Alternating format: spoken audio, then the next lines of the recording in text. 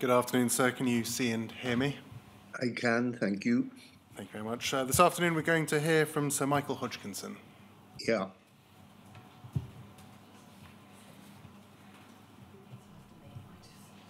I do solemnly, Sincerely and truly sincerely and truly declare and affirm declare and affirm that the evidence I shall give that the evidence I shall give shall be the truth, shall be the whole truth, shall be the truth, that shall be the truth, the whole truth, the whole truth, and nothing but and the nothing truth. but the truth. Thank you. Thank you. seat. Thank you very much. Can you give your full name, please? Yeah, Michael Stewart Hodgkinson. So, Michael, you should have in front of you a witness statement. Uh, Yep. Is it dated the 27th of February 2024? Yep, Uh, could I ask you to turn to the final page, please? Can you confirm that this is your statement? yep, And on the final page, that's page 26, can you see a signature? I can. Is that your signature? It is. And is that statement true to the best of your knowledge and belief? Yes. Thank you very much. Um, that witness statement, which has the URN WITN 10660100, uh, will be uploaded onto the inquiry's website shortly. Um, your career history is set out in your statement um, at length, and for, for today's purpose, I think all we need to know is that you uh, were the senior non-executive director of Royal Mail Holdings in January 2003 until August 2007. Is that right? Correct. Uh, and also the chairman of Post Office Limited from May 2003 to March 2007. Correct. Thank you. Um, could I ask, if possible, for you to come slightly closer to the microphone? Sorry. Thank you. After leaving Royal Mail and Post Office, uh, you held a variety of positions. You were deputy chairman of TUI Travel until 2018, um, and you also had various involvement with Transport for London, rail and airport uh, interests and companies. Is that correct? That's correct. Um, For those who aren't aware, uh, can you explain what Royal Mail Holdings was um, and its relationship to Post Office Limited, and also where the Royal Mail Group fell in with that? Right. the um, structure of the company was Royal Mail Holdings was the main company, and under it had um, several subsidiary companies. It had GLS, which was the parcel business in Europe. It had um, Parcel Force. It had Royal Mail Group, and then Post Office. And your involvement with Royal Mail Holdings was principally because of your involvement with Post Office Limited, was it? Yep. Albeit that you had some degree of uh, oversight uh, of the whole group. Correct. Can you assist us with how decisions and strategies of the Post Office Limited Board uh, informed or affected the goals of uh, the Royal Mail Holdings Board and, vice versa? Right. Um, obviously, the Royal Mail Holdings was a much bigger company, much bigger sums of money. But nevertheless, um, the post office was still a significant part of the business. And uh, unfortunately, at that time, it was still loss making. So, one of the strategies which was applicable to both the benefit of Royal Mail Holdings and for Post Office Limited is could we actually devise a strategy that would be much more financially viable for the post office company? Uh, and, and how- obviously that would have fed into Royal Mail Holdings. And how would the two boards relate i- in respect of that? Right, the post office board reported into the Royal Mail Holdings board, and both the chief executive and the chairman of post office were on the Royal Mail board. Thank you. And we'll see in due course some minutes of various board meetings from, from both Post Office Limited and Royal Mail Holdings. I want to ask you some general questions about the governance of uh, Post Office Limited. And I'm going to start um, in respect of board composition uh, and various committees. Um, could we bring up onto screen poll 004234140, please?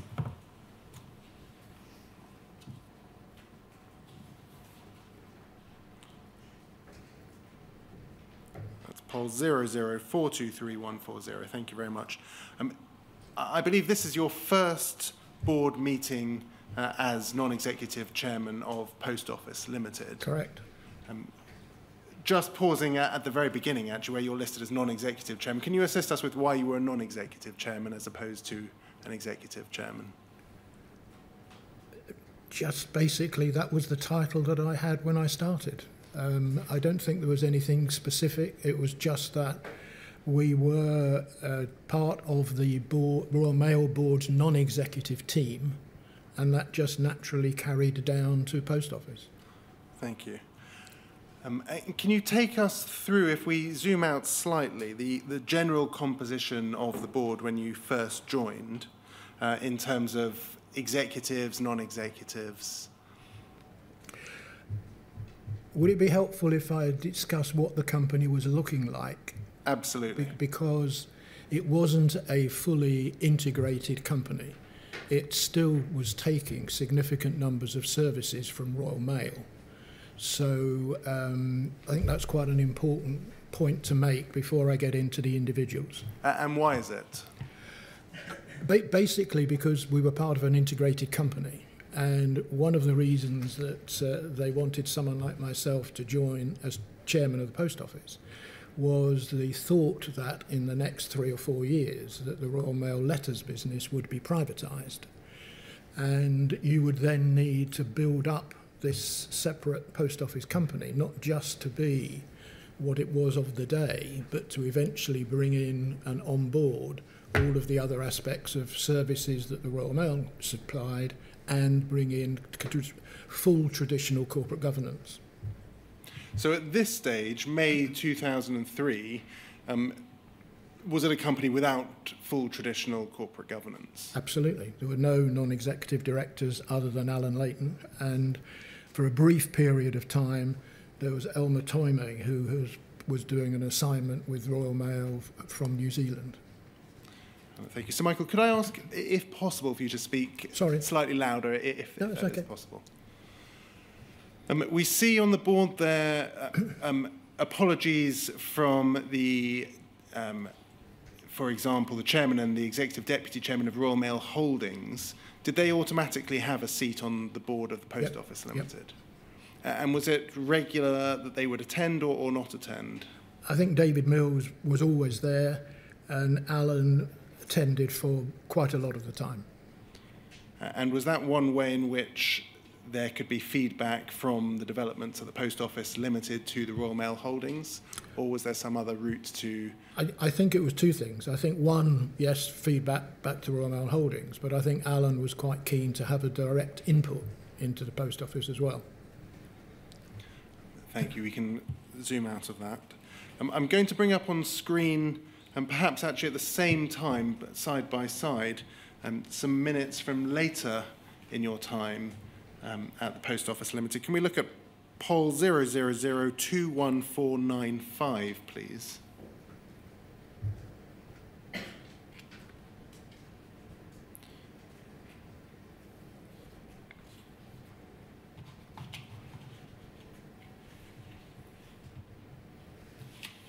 Thank you very much. So that's from October 2006. If, if it's possible to have those both on screen side by side, please.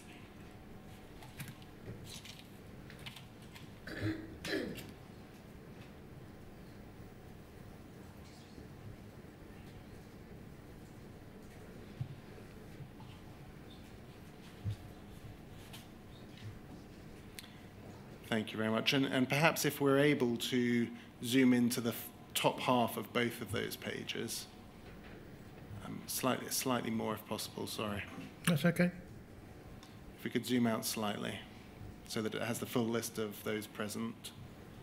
Um, can you assist us with any significant changes that occurred in respect of the composition of the board between, say, 2003 and 2006, or, or even when you left? Well, the, the, most significant change was the change in chief executive. Um, David Mills retired at the end of 2005, and uh, Alan Cook joined in, uh, I think it was March 2006. So that's the biggest change. But in addition, there had been several other retirements. So uh, David Miller had left operations, and um, we, we had new people on board there. We had, um, just looking through there, there was a new uh, personnel director, human resources. So there was a significant amount of change over that, what is um, three and a half year period. Um, so, taking Alan Cook, he was brought on originally as a non executive Yep. director, but by 2006 he had become managing director. Um, by 2006, was the board any different in terms of uh, non executive directors, or was it similarly uh, an executive led board? It was basically still an executive led board. We had in the interim, we had had Brian Goggin, who was the chief executive of the Bank of Ireland, on the board as a non exec for about a two year period. Uh, And can you assist us with the reasons behind that? Was it something of that particular time? It was that was routine, or was that something that was special to the post office, or a little bit different?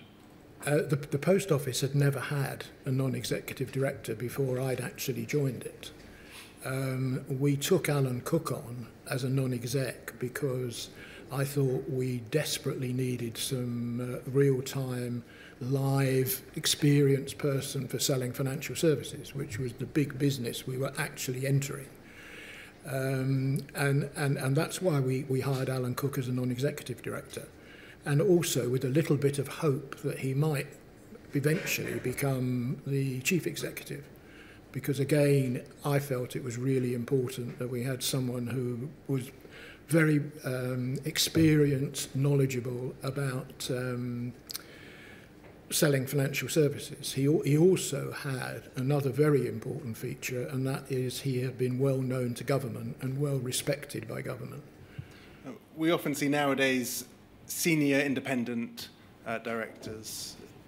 Was that a thought uh, that, that was considered in respect of the composition of the post office board? Not at that time, but that was in the back of my mind all the time because one of the reasons that it was important that I had joined when I did was I, in the 18 months run up to any form of privatisation, would have to decide, first of all, what kind of corporate governance structure we needed for the post office going forward, and also um, what kind of individual experience would be helpful so that we would be ready to set up a uh, high quality standalone business. We see here also on the left hand side, we have uh, the chairman and executive deputy chairman of Royal Mail Holdings. By 2006, it seems to be the chairman um, of the Royal Mail Group. Can you assist us with that at all? Um, I don't think that is significant. I think that it's just the way the secretary noted the mi- minutes. Thank you. Um, we have Alan Barry listed as IT director. Um, and that's on the left hand side. Yep. I, I believe he left in 2004. Yep, But we later see on the right hand side um, David Smith as IT delivery director. That's um, not the David Smith that, that is a, in this phase. We, we heard from, Yeah. it, we know him as Yeah, yeah. David X Smith because yeah. of his email address. yeah. It's uh, is listed as David X Smith. he was the IT delivery director. Um, is there a difference there? So in 2003, it looks as though you had an information technology director as a full member of the board, whereas by 2006, it seems as though the IT delivery director, David Smith, was only in attendance rather than uh, a full member. I think that is true. We do see, however, Rick Francis, you can see apologies on the right hand side, who is the operations director, and he seems to be a full member. Yeah, and he, he took over really the day to day management of IT. So, so are we to read into this that actually the information technology director was replaced at a higher level by an opera- a new operations director? Uh, well, the, the operations director was really replacing the old Dave Miller role. So th- that was the chief operating officer.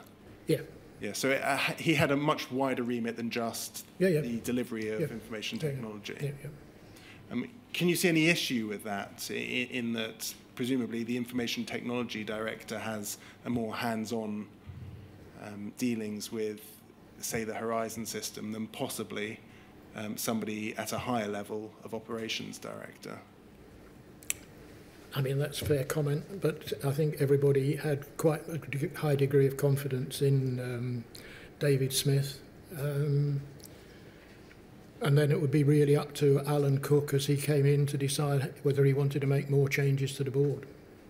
Um, On the right-hand side, you're now listed uh, as chairman rather than non-executive chairman. Was there a, a formal change over that period, or is that again just the minutes? Just a minute. But looking at the structure both in 2003 and later on, do, do you consider that the structure of the board of Post Office Limited provided sufficient challenge to the executives?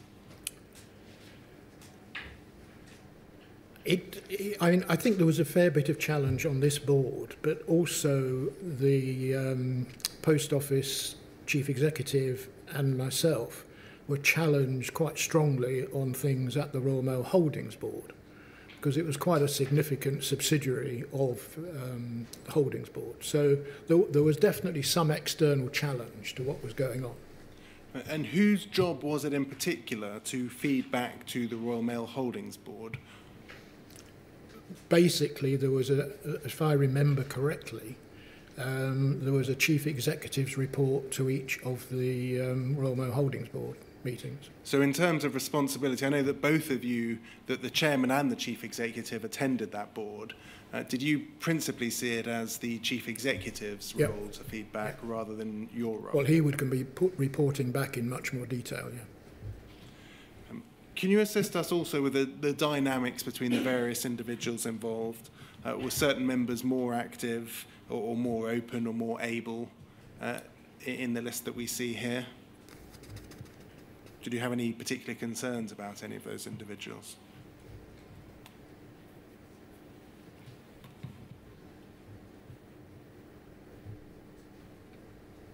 I mean, Peter Corbett was always a very solid finance director and always always very sensible. Um, we had split, I think, the sales and the operations director because we were feeling we desperately needed more input to selling the new financial services. Um, but generally speaking, I, I would say that it was a relatively harmonious team who were working very solidly through the key objectives that we actually had. And the main objective we had was to have a credible plan for government by the end of 2006 for future funding. And that was the main focus of the board and had been the main focus of the board over the previous three years. And how would you describe your approach to your style of chairmanship of this particular board? Was it, um, were the meetings, for example, very prescribed? Were they very open, a free-for-all, The- or something else? The, meet, the meetings were um, clearly geared around achieving the core objectives that we had. So if you go back to the beginning, then the core objectives we had were to do the first round of post office rationalisation, to improve the, or reduce the loss-making uh, Crown Office branches, to um, judge over that period of time by, by myself the quality of the management. And and as I say to um, generally reduce costs over the operation. And and those objectives stayed pretty much the same over the period. And I think you'll see um, a common theme with the big new theme coming in which was the introduction of financial services. So the overall theme being reducing costs, increasing profitability. and introducing new products because we were at the time when the traditional product streams that were going through the post office were dying. So, you know, we knew that um, eventually pensions would be paid directly into pensioners' bank accounts. The uh, things like um, the uh, TV licenses, the car licenses, a whole range of the traditional products were actually moving away from the traditional post office. So it was absolutely vital that new services were brought in if there was to be any form of viable future. And we'll see in due course some serious problems expressed at the board level about the solvency in 2006. Uh, was that it heightened in 2006 or was it a constant theme throughout your It time? was a constant theme throughout the whole period where the directors had to constantly be looking at this for fear of becoming vulnerable themselves for overtrading and being liable for creditors. When you started in your role, I think you were told that it was going to uh, take two days a week to um, act as chairman of the board. Um, whilst you were chairman, you were also involved in a number of other companies. I think you were non-executive director of something called FKI PLC, uh, which is an engineering and manufacturing company, until July 2008. Is that right? Yes, Um, you were a board member of Transport for London and chairman of their finance committee between 2001 and 2012. yep, Non-executive director of First Choice Holidays, uh, later TUI, including as chairman from uh, March 2004. yep, Non-executive director of Dublin Airport between 2004 and 2010. yep, Uh, the Post Office Limited nominated director on the board of Bank of Ireland because of that link between the two, um, between May 2004 and July 2006. Is that correct? yes, that's correct. Taking, for example, the role uh, First Choice Holidays, um, how many days a week did you tend to dedicate to that role? Basically, the first choice holidays was a unique situation insofar as I uh, really only needed to dedicate a day a week because we had a very unique situation that worked very well in that we had a lot of non-executive directors that had proper jobs during the week and one of the things that we did was before the board meeting we would actually always have a non-executive directors dinner which enabled the non-executive directors to discuss offline all of the kind of issues that they thought we needed to be addressing at the board. And then the next day we would actually have the board meeting and all the committees so that these um, non-executive directors were effectively only taking out one day uh, for the process. And then in addition to that, I always had a dinner 10 days before the board meeting with the chief executive to get up to speed with what was going on and to decide the issues we need to put forward for the next board. Just, just pausing you there, in respect to the post office, we see, and we've seen a lot of formal board minutes and committee minutes. Um, things like dinners and social meetings, did they take place with, for example, the chief executive of the post office? Um, not on a regular basis. Occasionally we would have a dinner, but basically no. Uh, was most of your business on the post office done in, in the formal structures of Yep. committees Yeah. and boards? Yes. Um, do you consider, given the large number of other involvements that you had at the time, that you uh, had enough time to dedicate to the role of chairman? Well, I thought at the time I did. I thought that I had planned my workload so that I had between a three quarters of a day and a day a week spare because I knew things would turn up. They always turn up. And that was where I was able to fit in the non executive role of the Bank of Ireland because otherwise I couldn't have done it. And do you think a part-time chairman was the right approach for post office during this period?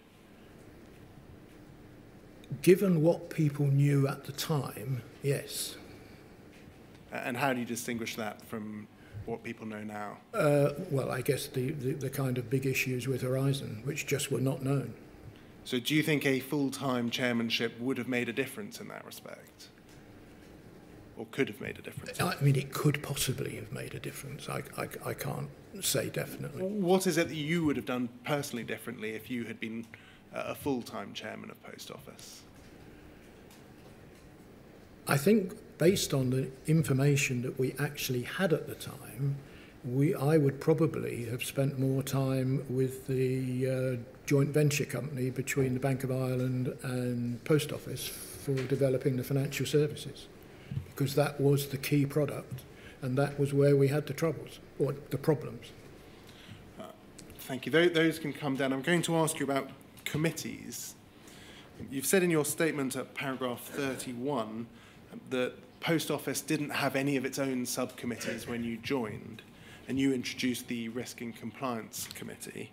Um, and you say that that wasn't unusual for a subsidiary. Um, i- is that right, even in respect of a subsidiary of the size uh, of Post Office Limited?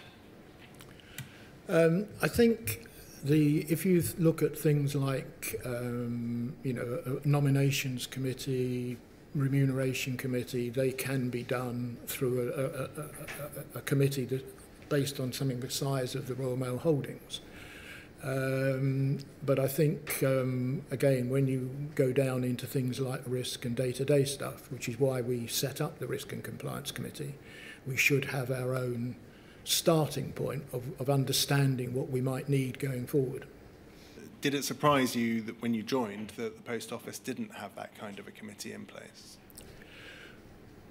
No, knowing the knowledge of the business when I joined, because the business when I joined was very clearly that each individual company was using the committees of the central services.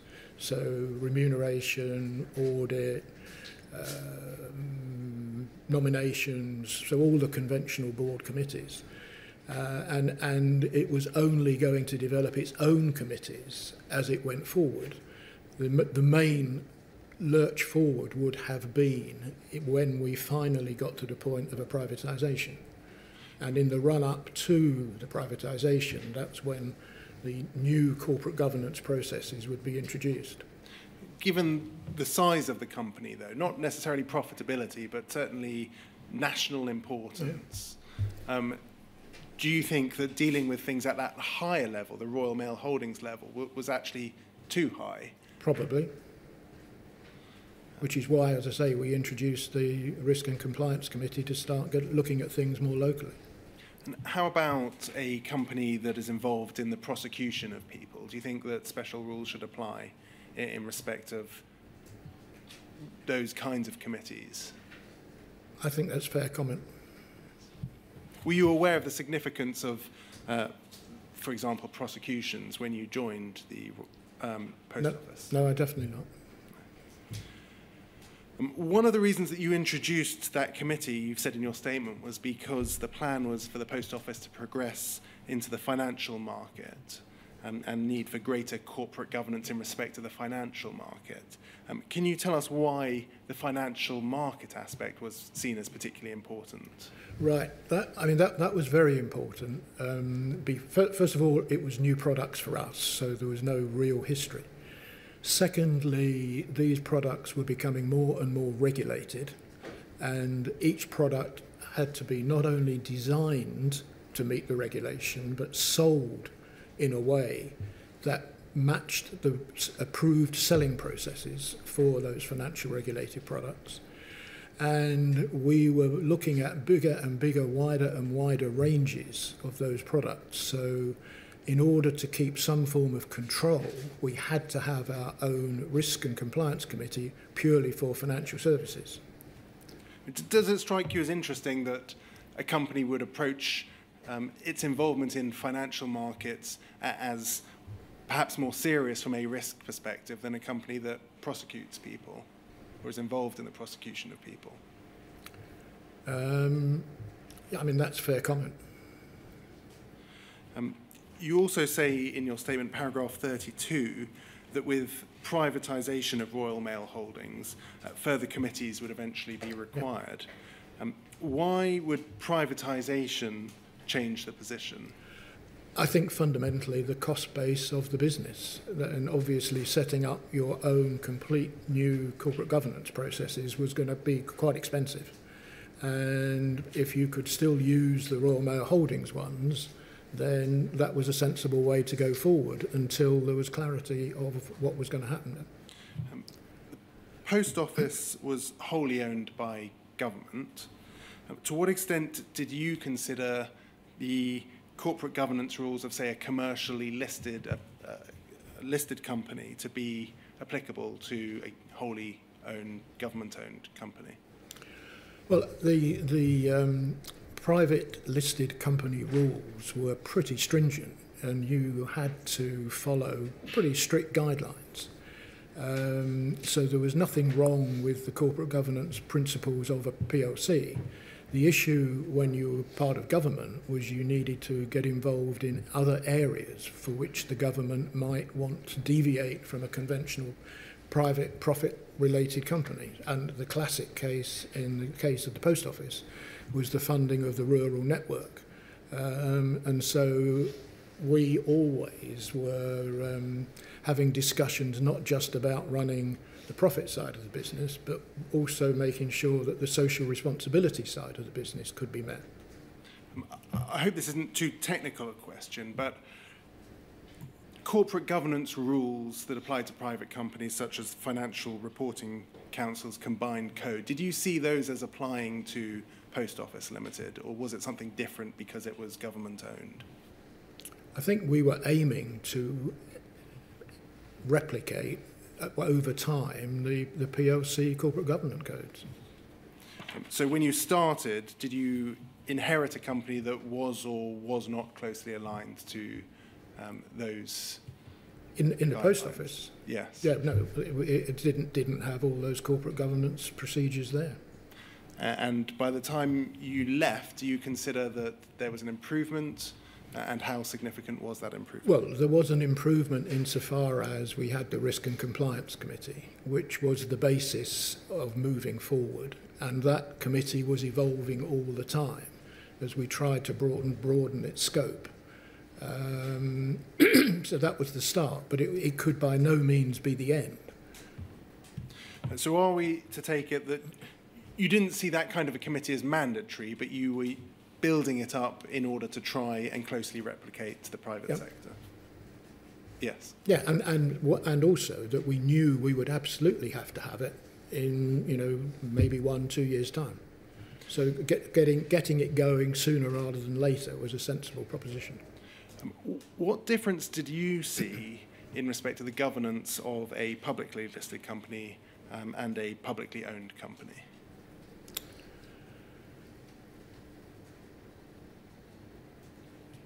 The, I need to think through that in two stages. The, the, the first stage was that Post Office was not, as I say, a fully fledged company, so didn't have a suite of corporate governance processes that you would have expected to see in a PLC.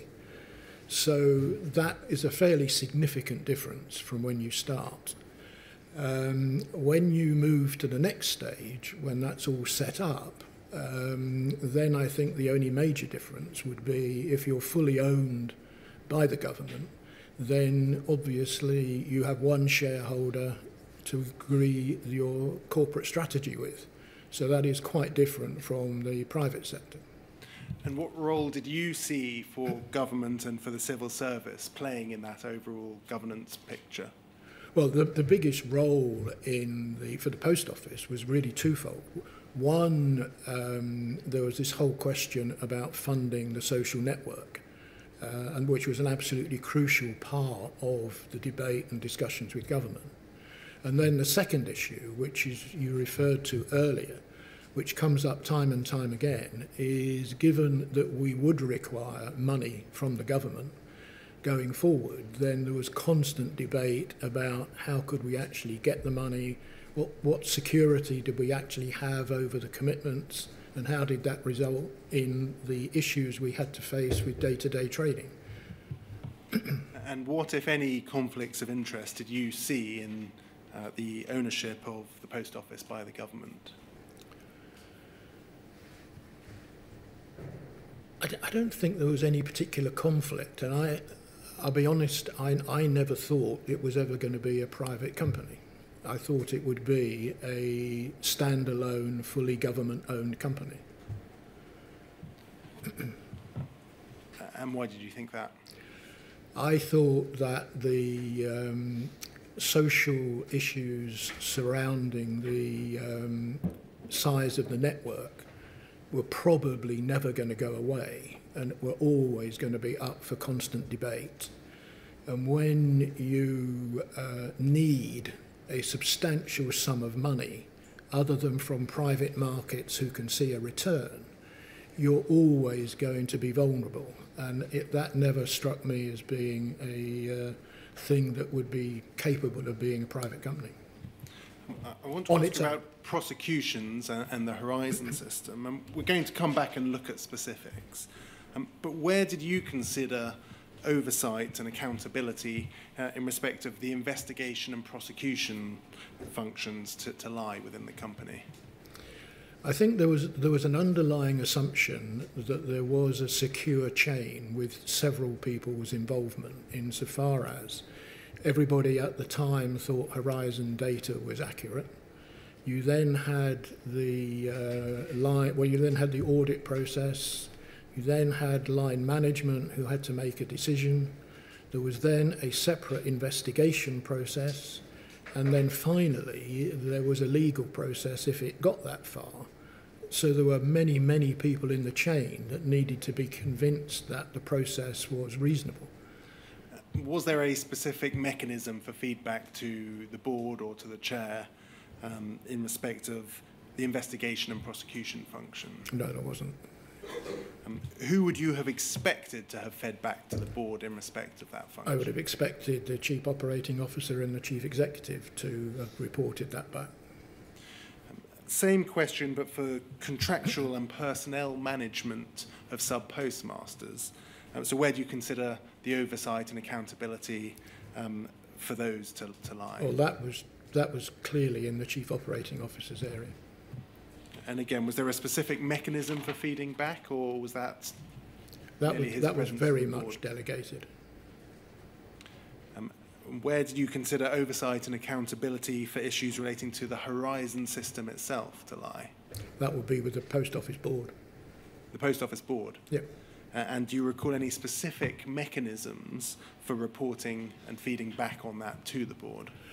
There were there were constant reports to the board on how the uh, system needed to be developed going forward, and there were kind of three phases there. There were lots of individual projects that would come up, like for example, I remember the um, foreign exchange had been uh, done on a separate terminal, and we wanted to get it onto the Horizon terminal, so there was a, a project that asked for money to do that, and that was not unusual to get products doing that. There was then the uh, two major projects which actually uh, occurred during my period. Well, one occurred and one was being planned. One was impact, and then the other was the next generation. So there was a lot of feedback to the board generally about Horizon, but mainly on a forward-looking basis because, as I say, there, there was a very strongly held view that Horizon was good. And who was it that you would expect to feed back to the board in respect of that information? Well, that would be both the IT director in the early days, then the IT director and the operations guy, and then also the finance director.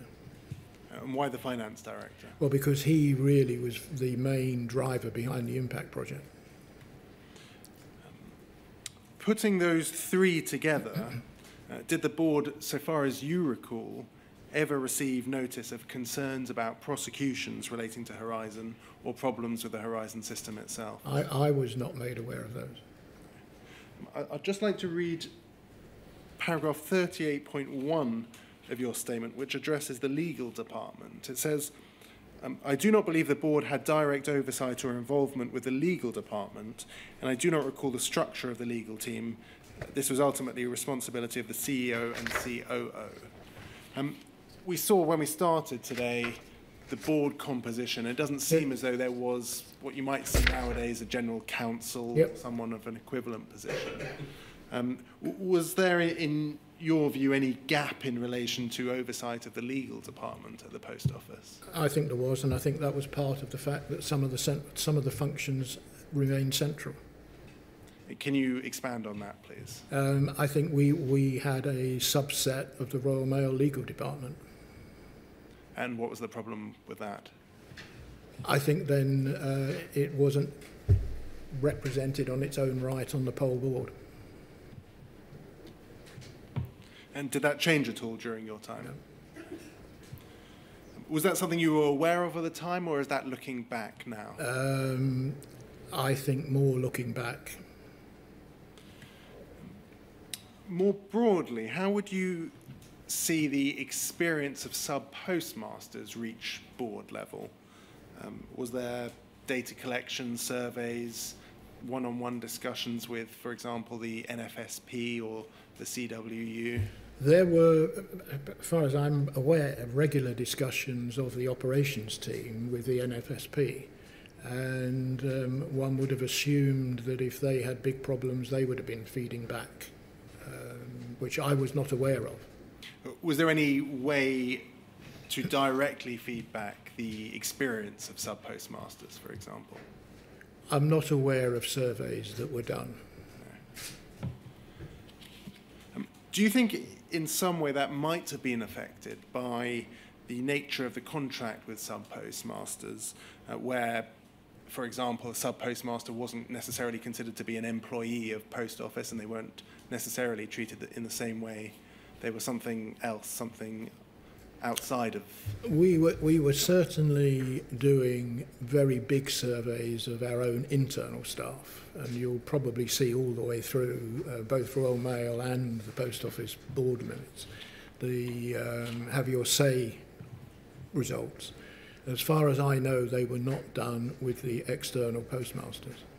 And can you assist us with really how the board saw sub postmasters? And saw the role of the sub postmaster? I think the board thought, saw the role of the postmasters as a very important part of the overall package. Um, they were going to be very important in actually selling the financial services that we hoped would form the basis of the company's future profitability. They were also crucial in um, supporting the social obligations that the postmaster, the, the, the post office had. So I think they were a pretty important part of the business. And in those circumstances, you've said that there was a lot of feedback provided by employees of, of the post office. In circumstances where sub postmasters were seen as important, why do you think it was that there wasn't that level of feedback being obtained from sub postmasters? I can't answer that question properly because it wasn't discussed at the time. But I personally think that uh, it was because people saw the sub postmasters as highly motivated individual businesses, whereas our employees, we had a major responsibility to motivate them. And with all of the headcount reductions that were taking place, obviously morale was quite a challenge, and we were constantly trying to keep in touch with how we felt the, the, the vast majority of the staff felt. If I may pick up on a particular word that you used, you, you said businesses. Was it that sub postmasters were seen as businesses rather than individuals, humans? I think I think they were probably yeah. Um, I'm going to move on to the risk and compliance committee that you set up, and I'd like to start with. Uh, some board minutes that refer to its establishment. Can we look at POL 000214486?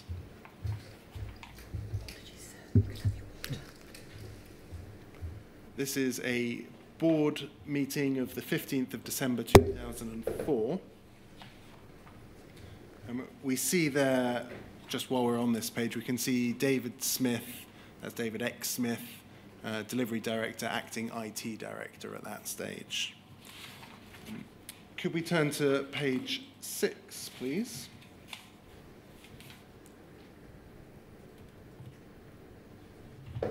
I'm just going to read to you from the bottom of that page and over to the next page. Um, this refers to the Risk and Compliance Committee being established. Peter Corbett provided a short presentation to highlight the work of the newly formed Risk and Compliance Committee. And then it goes on to show the various things that the board noted. The Risk and Compliance Committee was chaired by Sir Michael Hodgkinson. Um, Graham Halliday and David Miller regularly contributed to it.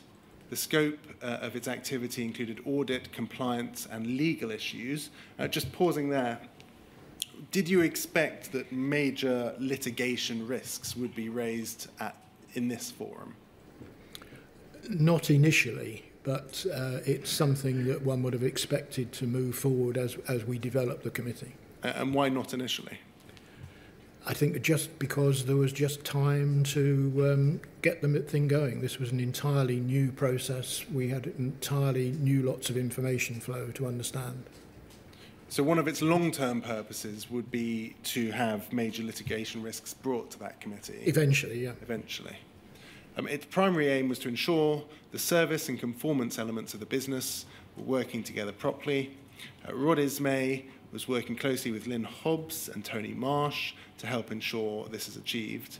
The next quarterly meeting will be on the 5th of January 2005 to discuss branch control, vital few controls, audit reports, anti-money laundering measures, crime and fraud, and the work of the Group Audit Committee. Uh, then says the Risk and Compliance Committee found that although the overall trend of losses due to fraud had fallen from an annual rate of 29 million to 20 million, uh, this area still represented a significant risk. Um, if there were concerns about Horizon, problems with the integrity of Horizon, was this the committee to, to bring those kinds of problems to? It would certainly have been one of the committees. I think if people had thought there were big problems with Horizon, they would have come, first of all, to the board, but they could also have come and should also have come to this committee. So would this committee have a wider or narrower remit? Uh, You say they should have gone to the board. Well, I think they would go to both because of the importance. We see a, a number of names there, Rod Ismay, Lynne Hobbs, Tony Marsh. Uh, were they tasked with bringing risks to the committee, setting the agenda, or, or was that some, somebody else? Um, they were they were tasked with um, bringing, you know, the risk to the committee. Um, the agenda would be set by uh, Peter Corbett and myself, um, and then each person that attended would have a, you know, their their own rights to um, talk about what they wanted to talk about, so that we had a fairly open agenda. Um, we've just recently spoken about the role of sub postmasters. Uh, where did sub postmasters, if at all, fit in uh, with the company's consideration of, of risk? I mean, we see their reference to fraud. Was it concerned principally with the risks that sub postmasters posed, uh, or, or did it consider risks to sub postmasters? it it can it considered risks to the whole business. So it was considering risks to the company for fraud, which would have included uh, postmasters, but it also included um, crime risks in other areas of, of fraud, such as the uh, Crown offices and also the cash and transit network. So um, it, it, it was a, you know fairly broad in its thought processes on fraud. In terms of major projects, so something like Horizon Online, was this a committee that would deal with that, or was there a separate major projects committee?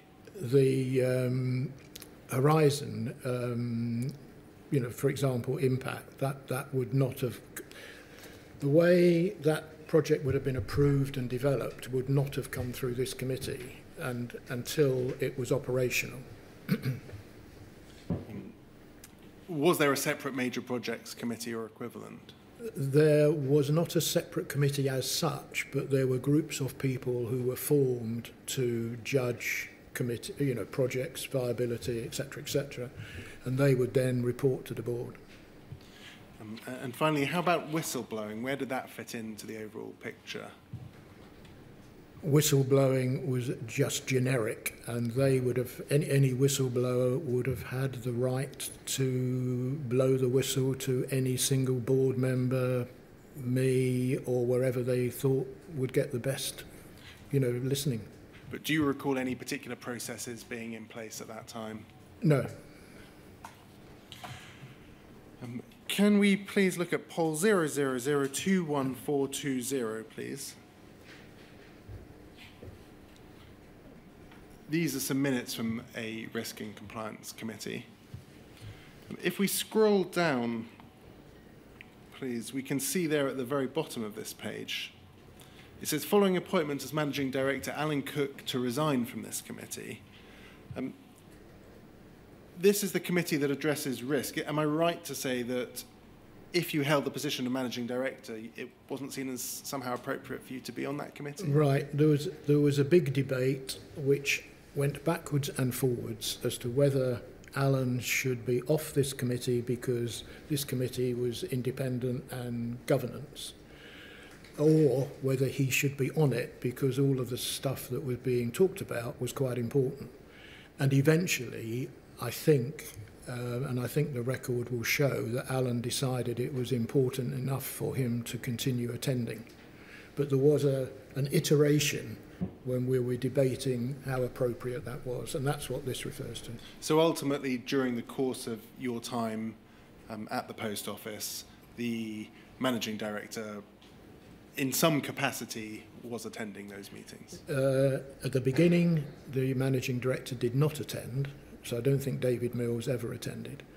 Um, as I say, this would have been Alan's almost first week, and and he, um, I think I can't remember. Did he actually attend? If you scroll down, or I think actually, if we look at the top, it, it says he, he sent his apologies. right? Okay, but he he was he was actually debating whether he should or should not come. Thank you. I'm now going to turn to some board minutes. Can we please look at POL 00021482, please? Uh, we're now on the 19th of June 2003, so this is likely to be the second uh, Yep. board meeting that you attended. Uh, and we have Alan Barry there as Information Technology Yep. Director. Uh, so this is at, at a time where the Information Technology Director was a full board member, it seems. Is that right? Yep. Um, do you recall who reported to him? Was it a particular team, individuals, or, or something else? I, I can't remember the teams. Would you have expected him to have been apprised of any issues with Horizon? I would have thought so. If we look over the page, page two, please. Um, We have chairman's business. Yep. Uh, and the second entry there is Horizon, and it says the chairman expressed a particular interest in furthering his understanding of the capabilities and limitations of the Horizon system. Uh, meetings would be arranged with the appropriate managers to provide the chairman with a detailed overview.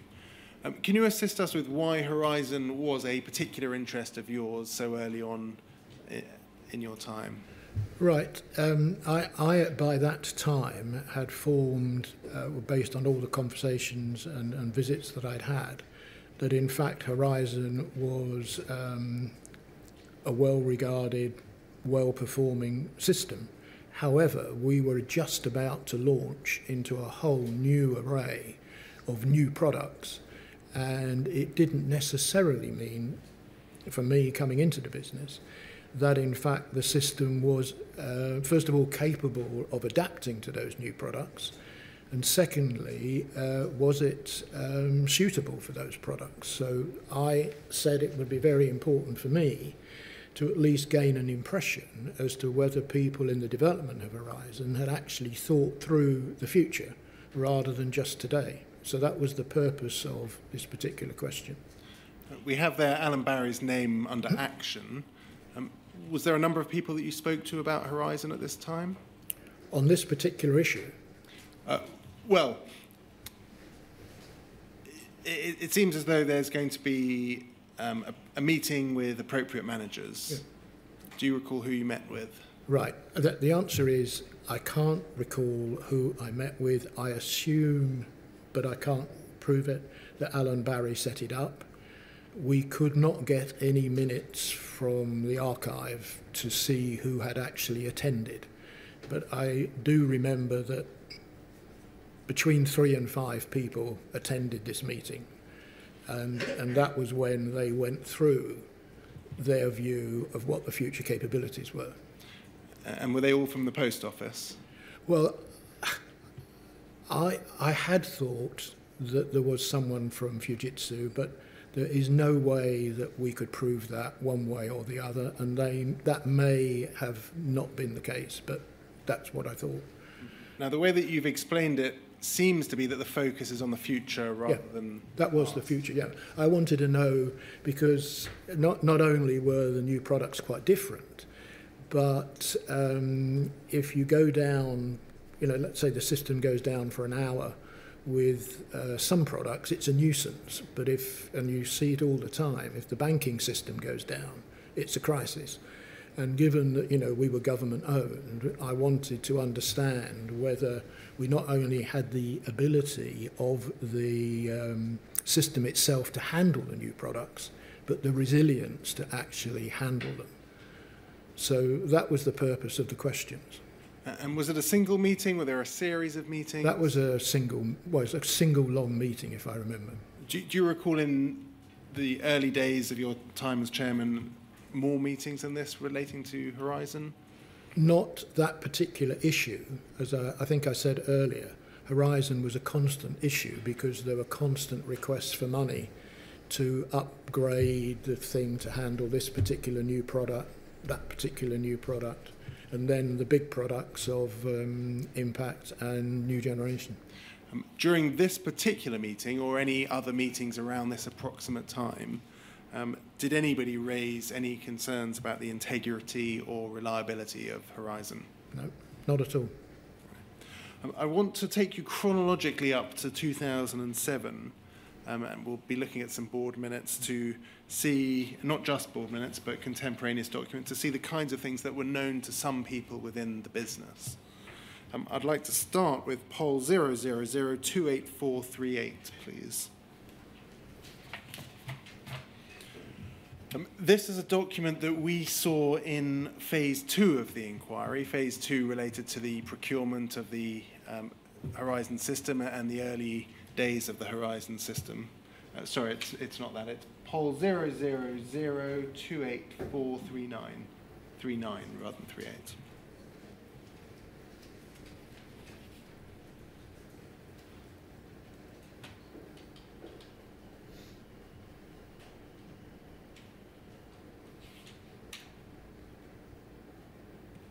Sorry? We, we have it.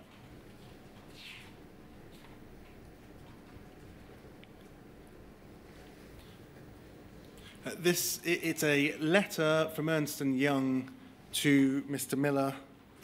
It's dated the 23rd of August 1999. Uh, David Miller, at that stage, I think, was the managing director of the Post Office Network until 2001. Uh, we heard from him in phase two. Um, he became the operations director, uh, which in 2004 was renamed the COO. And we've seen him appear in a number of those board minutes. I'm just going to read to you a, few extracts from this letter. um, this is at the acceptance testing phase of Horizon.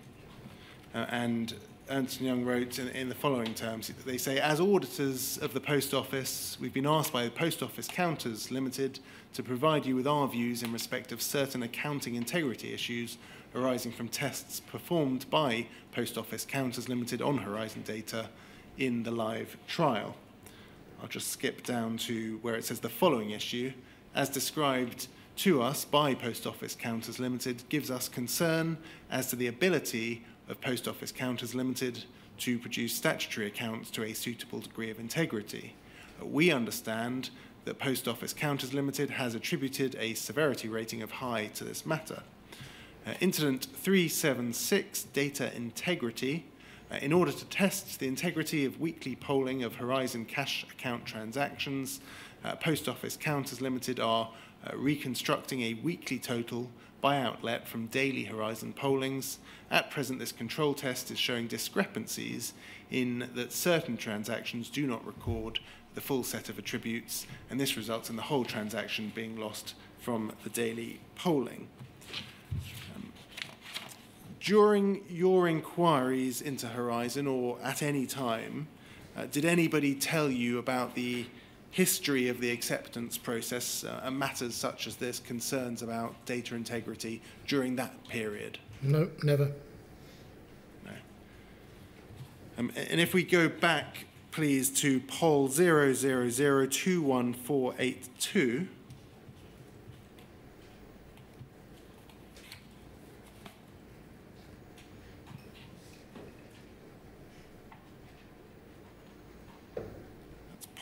Thank you very much. These were the minutes of the 19th of June 2003. Uh, we see there David Miller, who was the addressee of that Ernst & Young letter, um, sat on the board as Chief Operating Officer, uh, as a full board member. Is that correct? Yep. Um, can we please look at POL 000211485?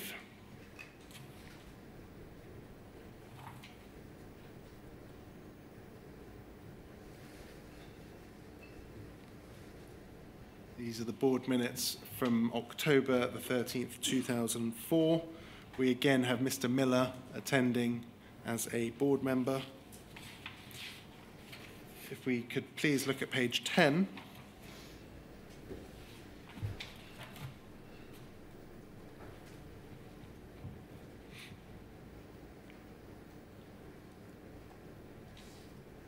Uh, we have there a presentation relating to Horizon Next Generation business case. David Smith presented the Horizon Next Generation business case to the board, and it details there the presentation that was received by the board. Um, could we turn over the page to page 13?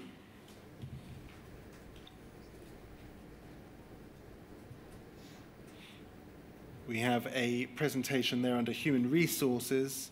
There's a report that the board agreed that in situations where fraud had been perpetrated against the company, the appropriate civil orders would be used immediately and in advance of any criminal proceedings. Uh, this would help recovery efforts by ensuring that the assets of those involved in, in criminal activity were quickly secured. David Miller would verify the current procedures and report back to the board.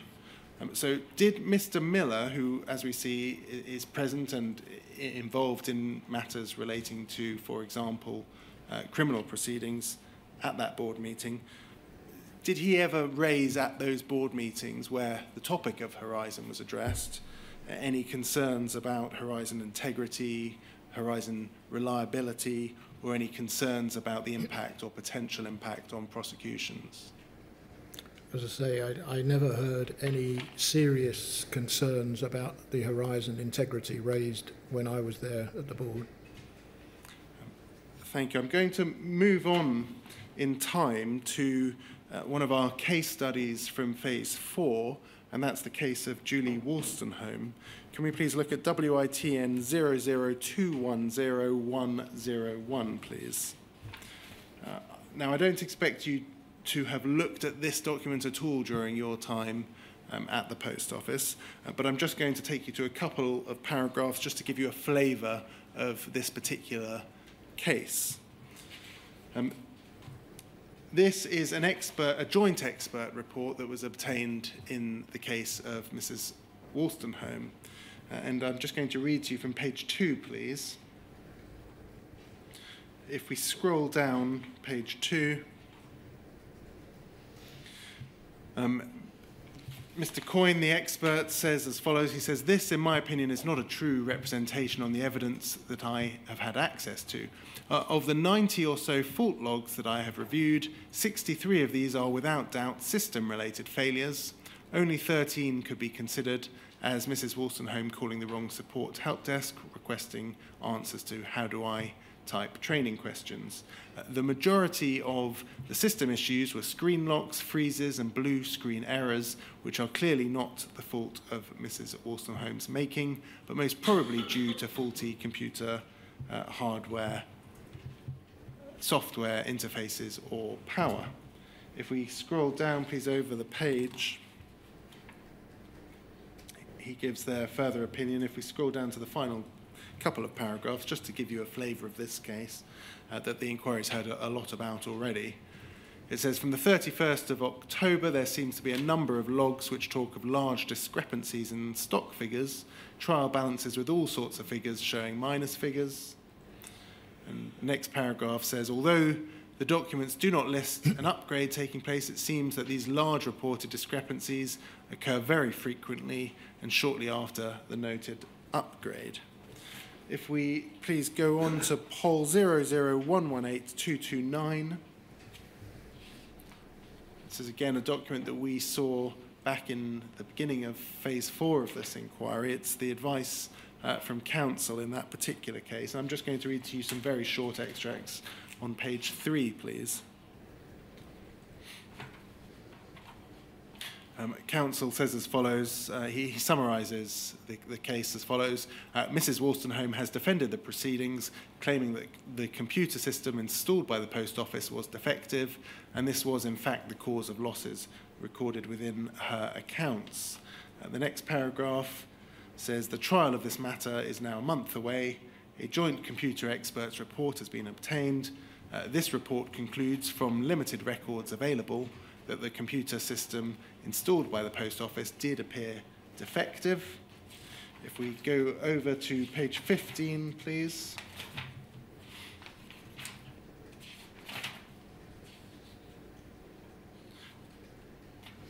At the bottom of page 15 has Counsel's conclusions.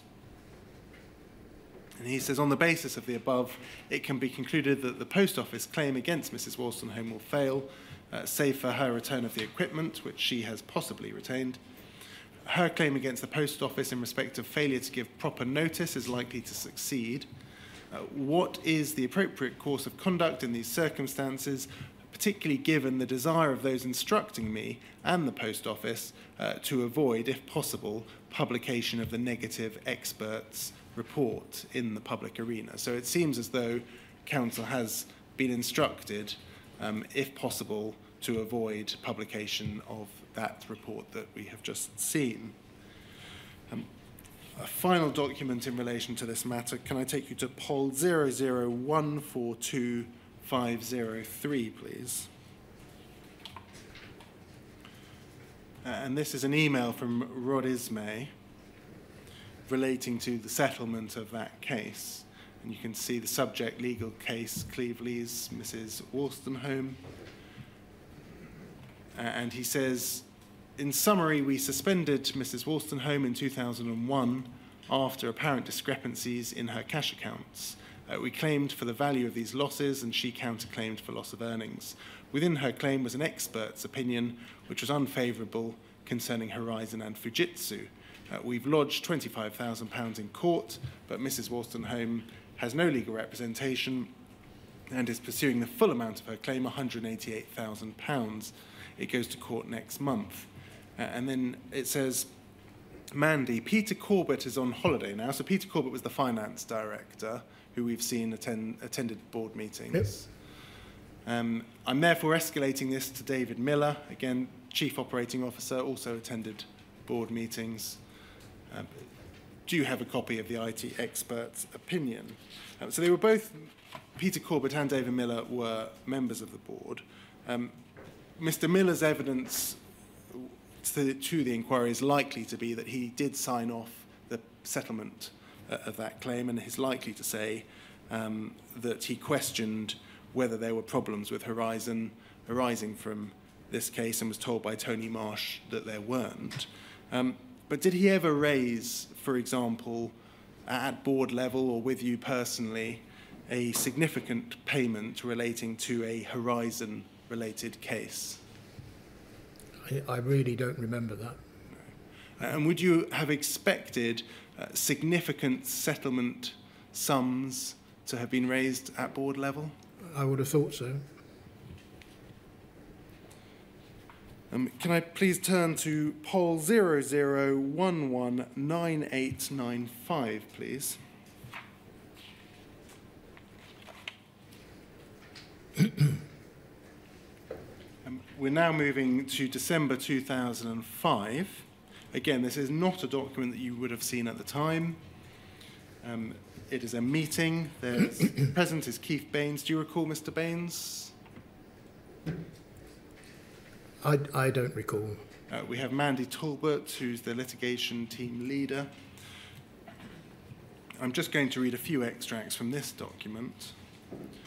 Um, findings, and it says as follows There's no generally understood process for identifying emergent, emerging cases in which the integrity of accounting information produced by Horizon may become an issue.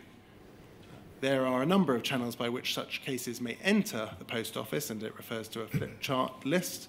and there is no process for making information about them available to all relevant functions. This increases the risk that different parts of the business may be dealing with the same issue and not coordinating responses. Uh, could we go over the page, please? Thank you. Paragraph 5 says To date, the number of cases in which the integrity of Horizon data has been an issue is small. However, recent correspondence in the sub postmaster uh, may well cause an increase. Also, there may also be uh, an effect from the introduction of transaction corrections replacing error notices. If we scroll down, please, to paragraph 8. It says if all potential cases were to require Horizon data to be analysed early in the process, then the workload would be considerable, and much uh, would later prove unnecessary. Currently, there are around 12 suspensions per week, and a significant proportion of them will relate to financial discrepancies. Most of these are subsequently settled by agreement or are not contested. Where a case does go to court, it is essential that Post Office is able to refute any suggestion that Horizon is unreliable in general or that it could have caused a specific losses to the sub postmaster bringing the case. The evidence needed for these two points will be different. Just pausing there, it seems from a reading of this document that there are uh, a, a, growing number of cases relating to uh, Horizon, uh, and there is a concern amongst the business to coordinate those and to assure that the post office is able to refute any suggestion that Horizon is unreliable. Do you agree with that as a, a fair summary? That's what this seems to say. And if we go over the page, please, to page three. Recommendations A coordination role should be established to maintain a list of all current civil cases and potential civil cases where accuracy of Horizon accounting information may be an issue and ensure that all relevant business functions are made aware of these cases. If we scroll over, please, to page five, we have there under specific actions, it says KB, that's Keith Baines, to brief Dave Smith on the meeting's recommendations. Um, that's David X. Smith, who we saw previously regularly attended board meetings. Yeah, the IT, yeah. Um, can we please also look at RMG 000000131? This these are minutes of the board meeting. Um, this is two months earlier, so October the 19th, 2005. We see if we scroll down, we have the names David uh, Rochel and David Smith, IT Delivery Director. And if we turn to page nine,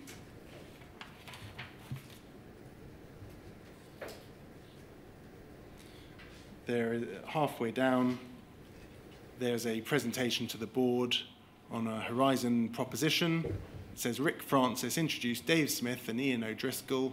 A presentation uh, was provided on the Horizon Next Generation, and it notes various things from the board. So uh, around the time, slightly before um, that meeting that we just saw, uh, Mr. Smith was presenting to the board on matters relating to Horizon.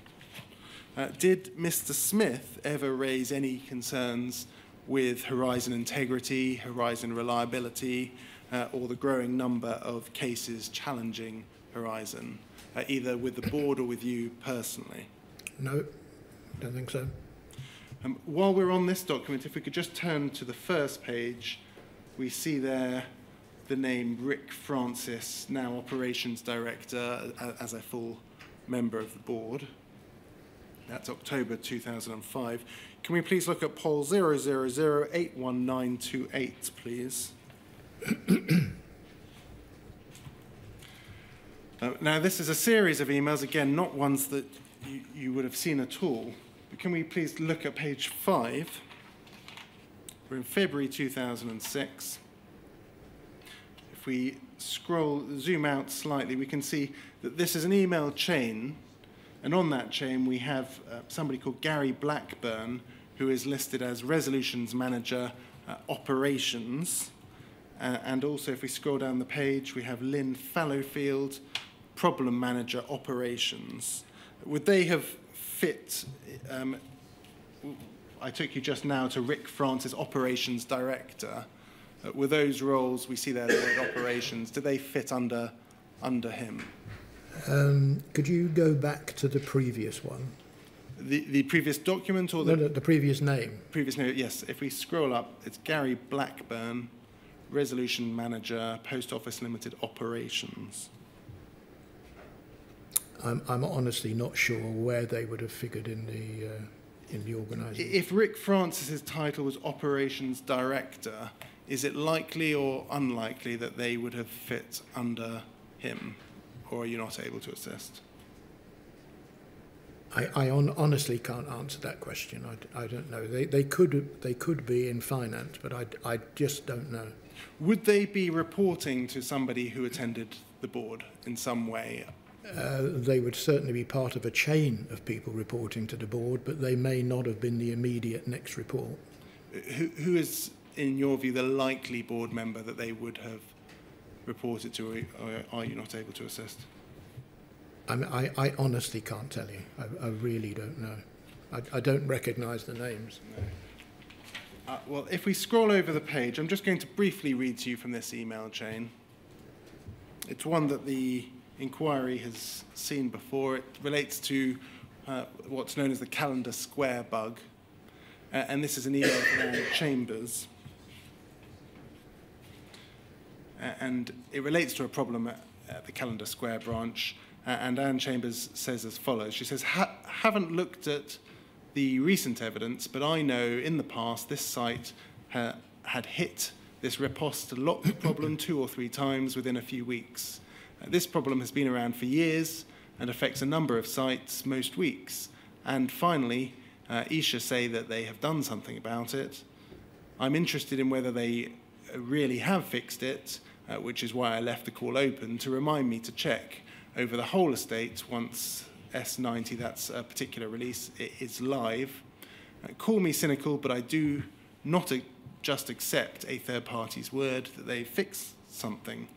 Uh, what I never got to the bottom of, having usually had more pressing things to do, uh, was why this outlet was particularly prone to the problem. Uh, possibly because they follow some particular procedure, sequence, which makes it more likely to happen. Uh, this could still be worth investigating, especially if uh, they have continuing problems, but I don't think it's worthwhile until that particular fix has taken place. Uh, she says, please note that the known error logs tell the help desk that they must contact sites and warn them of balancing problems if they notice the event storms uh, caused by the held lock and advise them to reboot the affected counter before continuing with the balance. Unfortunately, in practice, it seems to take uh, SMC several hours to notice these storms, by which time the damage may have been done. If we scroll over the page very, very briefly, at the bottom of that page, there's, there's an exchange there that refers to various um, reports that have been made, and it says at the bottom of this email, uh, read the magical £43,000 appearing and disappearing. Uh, the postmaster is male. He reports, uh, you may recall that in September, the above office had major problems with the Horizon system relating to transfers between stock units. Uh, the sub postmaster has reported uh, that he is again experiencing problems with transfers, which resulted in the loss of around £43,000, which subsequently rectified itself. Sub postmaster is concerned, etc. Now, I certainly don't expect you to have seen this particular correspondence, um, but just like my questions relating to Mr. Miller and Mr. Smith, uh, did Mr. Francis or, or whoever may have been the ultimate line manager to uh, those individuals in the operations department ever raise any concerns about the integrity or reliability uh, of Horizon with the board at, at this particular time? No, um, Mr. Miller, Mr. Smith, Mr. Francis, all attending board meetings. Uh, no mention of Horizon integrity or reliability issues. No mention of no. a growing number of court cases that we've seen. Uh, wh- what do you think went wrong in terms of the ability to report these kinds of things to the board? Come down. It's difficult to answer that question. I, one would have thought they would have been reporting those kind of things, but they didn't, and I can't give an answer. Thinking about the documents you've seen, the experience you've had subsequently, is there something in particular that you can pinpoint that you think went wrong in that reporting line to the board?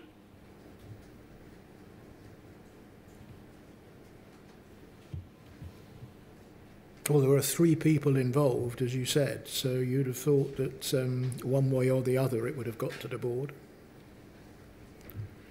I, I, I- I just got no idea. So might that be an appropriate moment to take our mid-afternoon break? Y- yes, of course. Uh, um, so, Michael, just pursuing one aspect of that, um, I can understand how the more senior these people are, the more discretion they may have to act, and they make a judgment about whether to bring things to the board, etc. But going back to Mrs. Wilston case, where she is claiming 188,000 pounds from the post office, which in 2003-4 is a substantial amount of money. And I don't know precisely how much uh, Mrs. Wilson, Mrs. Wolstenholme was paid, but all the indications are that it was a very significant sum of money. Um, I'm intrigued as to how that could have happened without the board being involved. C- c- can you help me with that? I, I've got no idea. I would agree with you. It was a very large sum of money uh, in any day, um, and particularly in those days. Um, I, I, I mean, you can speculate, but I, I, I can't. No, Uh, I, that, that's fine. But am I right in thinking that in terms of corporate governance, it should have been brought to the attention of the board and signed off at that level? um, a, a, a potential legal case of that size, in my opinion, should have been reported to the board. Fine, thank you. All right, yes, let's have our break, uh, Mr. Blake. What time Thank should we start? much. If we could return at a quarter to four, please. Yeah, fine. Thank you.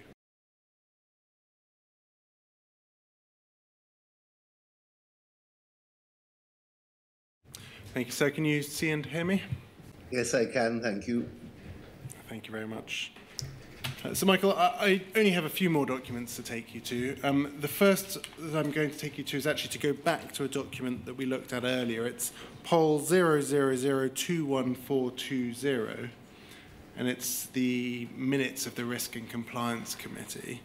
Um, just out, out of absolute fairness to you, if we look at the final page of this particular meeting, um, there is in an appendix the discussion about the status of the impact program. And I think Yep. we discussed earlier uh, about what level Yeah, yeah. the impact program was discussed at, and it does seem to have been at least discussed at this meeting. Yeah, yeah, this one. Um, just reading those first three paragraphs, executive summary, impact and the POL FS accounting system may um, have moved on significantly since the last report.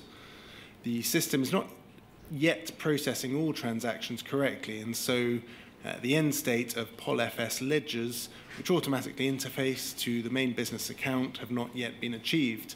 However, manual adjustments can and are being made to the ledgers uh, for the year end. Uh, the adjustments include several missed postings, which individually are very large, but which in most cases are substantiated.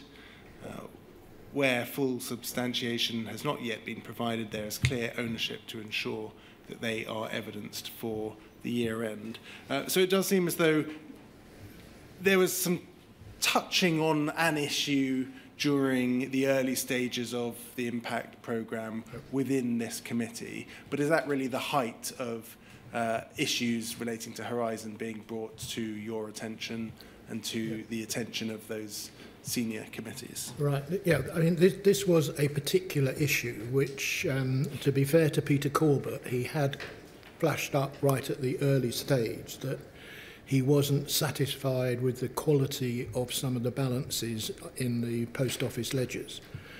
Um, but also the difficulty they had in getting that sorted out was far greater than they thought. But my understanding, this is all inside post office, not outside post office.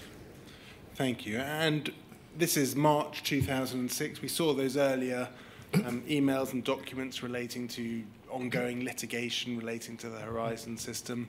Um, I, I assume that nobody put two and two together in relation to problems with the Horizon system and ongoing litigation. I, I, I don't think this was the outside of the post office business bit of Horizon. This was the stuff inside the post office in the internal accounting systems. so this didn't affect sub I. I was told it didn't, but, but you know. Um, going to now turn to a new document. That's POL 003299630.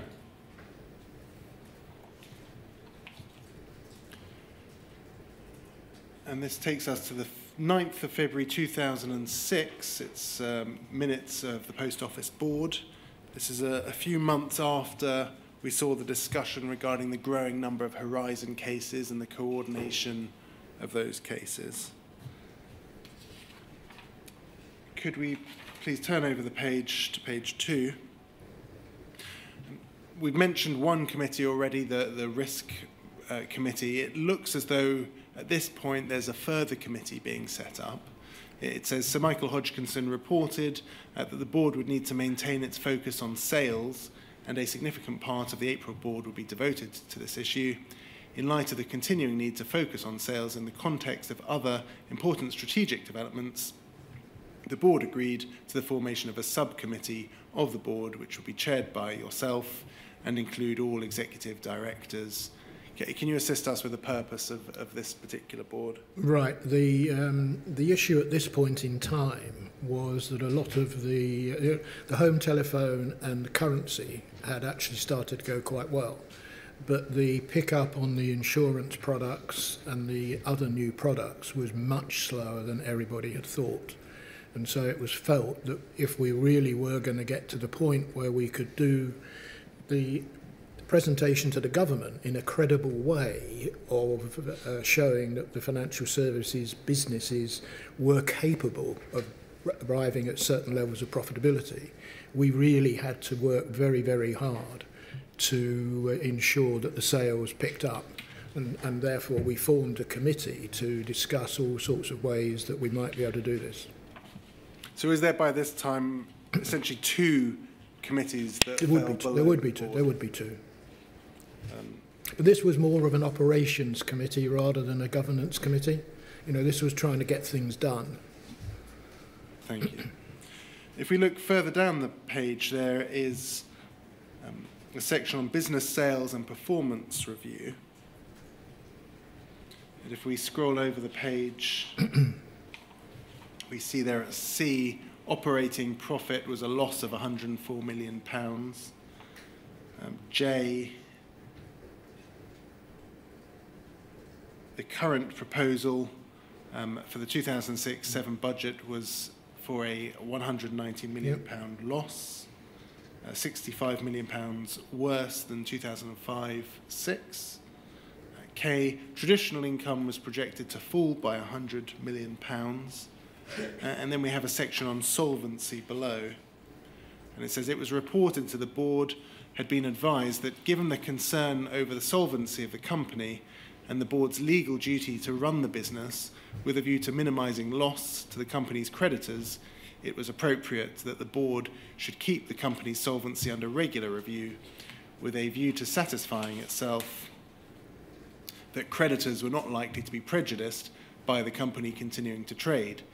In other words, uh, that the company was not likely in the foreseeable future to go into insolvent liquidation, leaving creditors unpaid. The board meeting was an opportunity for the directors to carry out such a review. Was this what you were talking about very early on in your evidence Yep. about um, real financial problems by this stage? As I said right, right at the beginning, the, um, the company uh, desperately needed government money to fund, in particular, the rural network, and at the same time, uh, the loss of income from its traditional products.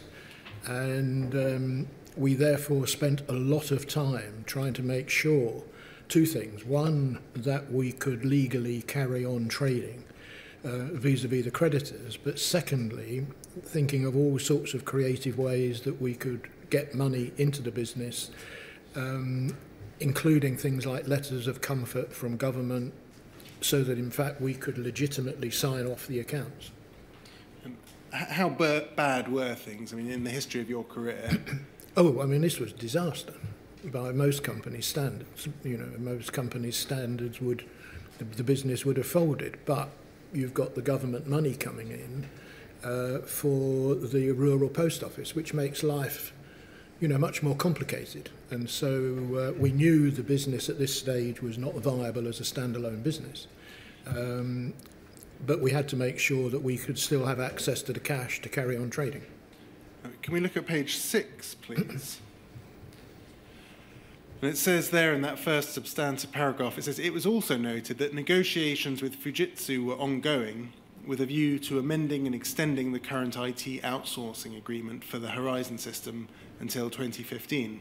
It was agreed that the contract extension uh, should not be formally signed until the directors were satisfied that the company would be likely to be able to meet its liabilities to Fujitsu for the full extended term of that agreement. Can you assist us with, with that then? What was the concern about? Right. Well, we had we had with um, one hand, if you like, the need to carry on in trying to get a much more cost-effective Horizon system.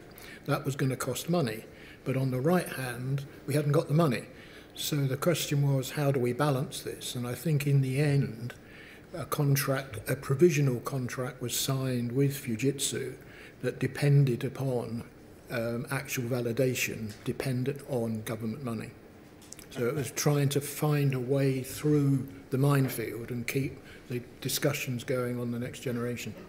And on the subject of a more cost-effective Horizon system, if we look at page 14, please, page 14 into page 15, there's a section in these minutes that addresses Horizon Next Generation business case. It's at the bottom of that page. and it says Rick Francis introduced David Smith to the board. So yep. that's the same David X. Smith that we've yep. been seeing throughout this afternoon. Um, and the Horizon Next Generation business case was discussed. The board noted that it was essential that the post office achieved significant reductions in IT costs to return the business to sustainable profitability. The major opportunity to do this resided with the Horizon system uh, that was provided by Fujitsu Services under a contract that expired in March 2010. In March 2005, Fujitsu Services proposed a major investment in application, branch, and data center hardware, which would simplify the solution, enabling significant reductions in recurring operating costs on the basis that the terms of the existing contract was extended to March 2015. However, this proposition gave no scope for further reductions once the benefits of the upfront investment had been realised.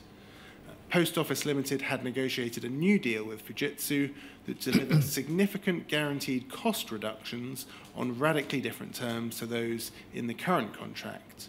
Under these revised terms, Post Office Limited would be able to market test all components of the contract, and Fujitsu services were incentivized to achieve further year on year cost reductions.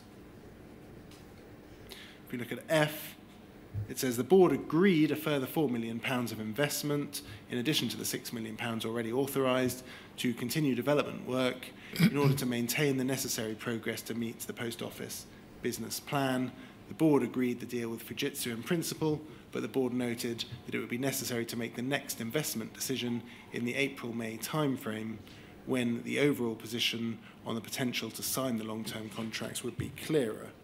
Um, is a fair interpretation of this that at this time the focus was on a cheaper horizon, uh, one that led to cost savings? I would just add one thing: cheaper and no worse. I don't think there was any thought that the, um, in, you know, the lower cost was in any way going to degrade the functionality or the integrity of Horizon. But the long-term plan there was to achieve savings. Yeah, there was, yes, well, it's crucial to make the business viable. And what we don't see here is, for example, any mention of the user experience uh, of Horizon, do we? That doesn't seem to factor into the thinking of, uh, certainly at board level. the- There was, a, there was a lot of discussion about the fact that this new reduced project for Horizon would not deteriorate anything in terms of quality. So we went forward on the basis that, that, that the cost savings were not reducing the quality of Horizon. And can you assist us with how the board was obtaining the information about the quality of Horizon for the user? So, can you recall, for example, any internal or independent investigation uh, during that period of renegotiation that looked into the effectiveness of Horizon uh, and whether it was the right strategy for the user? Right. Um, the only external review that was done was with Gartner, which was looking at and reviewing whether the kind of concepts were reasonable and whether the pricing from Fujitsu was reasonable.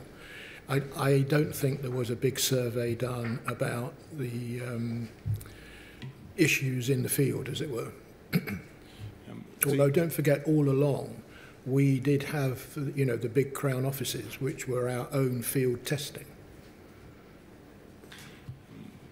Do you recall during these discussions any questions being asked about the reliability and integrity of the data that is produced by Horizon? Not specifically in those formats.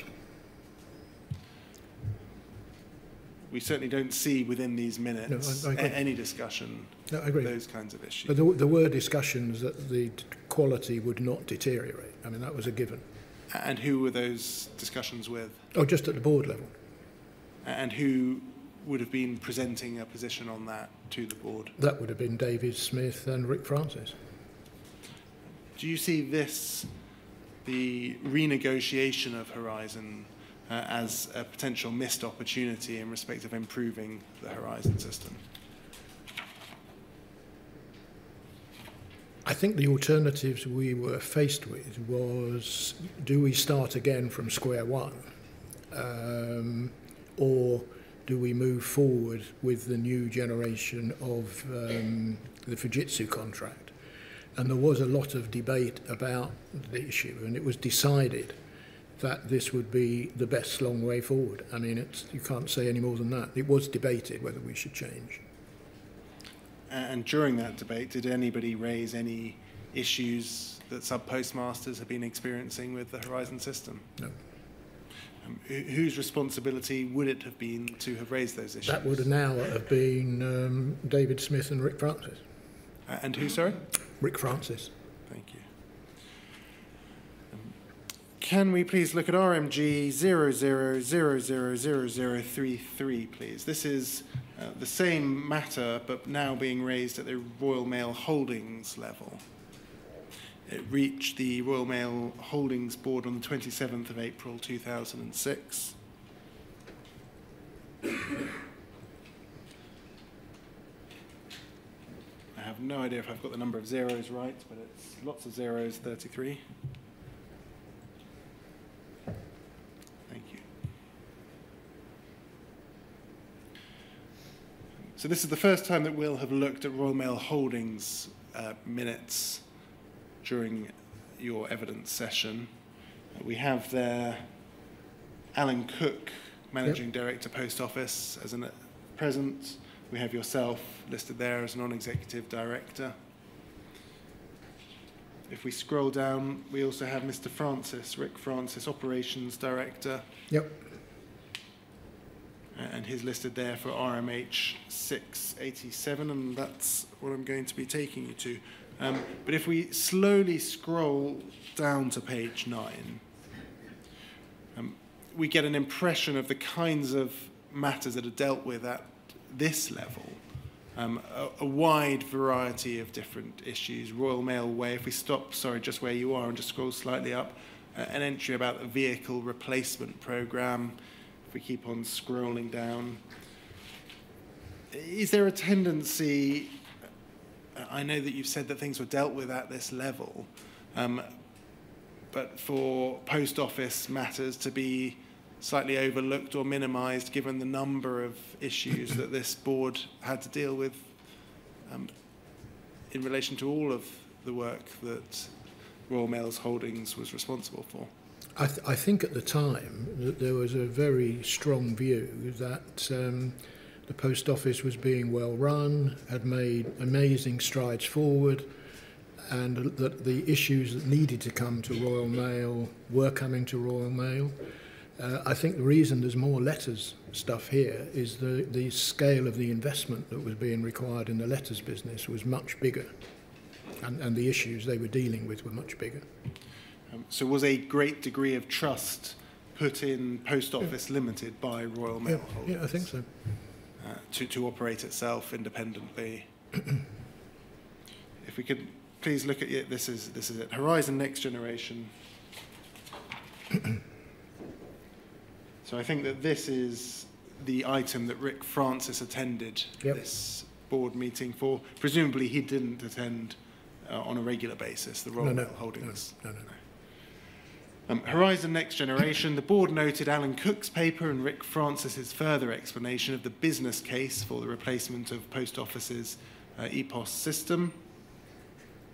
Um, the proposed deal with Fujitsu offered a replacement system at a significantly lower cost than any of the other available options. I mean, did it, did it strike anybody that perhaps lower cost wasn't necessarily going to lead to improvements in the system itself? Well, th- this was all done at the time when the general view was that Horizon was producing, you know, good, accurate information. For a total investment of £127 million, the proposed deal would deliver an incremental post-tax NPV of some £90 million compared with continuing with the current system and contract until 2015. Uh, Richard Handover pointed out that while the scale of cost reduction was commendable, in his experience of dealing with Fujitsu, cost reduction could also be accompanied by service degradation. Uh, Rick Francis noted this. Now, Richard Handover, he was a, a non executive. Yep. Am I right in saying he was uh, the chair and chief executive of W.H. Yeah. Smith? Right. Uh, was, was he somebody who was held in high regard by Yeah, yeah. the board? Yeah, I agree. Um, that seems to be quite a, a prescient comment that he's made there. And, and I think Rick Francis and the IT team took that on board. And as we went forward, we were told that these kind of issues, you know, service degradation, was cu- currently not likely to happen, and that we'd covered it. You said we were told. Who, who was telling you? That would who? be Rick Francis and David Smith. They were telling you. Do, you- do you recall specific? No, the board. They were telling the board. Sorry, not me personally. So they were telling the Post Office Board Yeah. or the Royal Mail Holdings Board that it wouldn't happen. Uh, well, of this particular thing, he, he had Rick had just noted this particular thing, but as we progressed further with the contract, that particular point had been noted. So it had been noted by Rick Francis, we see there, um, but it seems certainly um,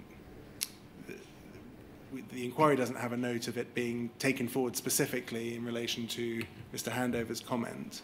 Do you think that some action actually did take place in relation to um, reassuring the post office that cost reduction wouldn't be accompanied by service degradation? Well, we, we were continually assured of that. You know, as I say, people are all the way through the project, people kept asking that kind of question. and who is we? The board, Uh, reassured by who? Rick Francis and David Smith. And were you aware of who they obtained their information from? No.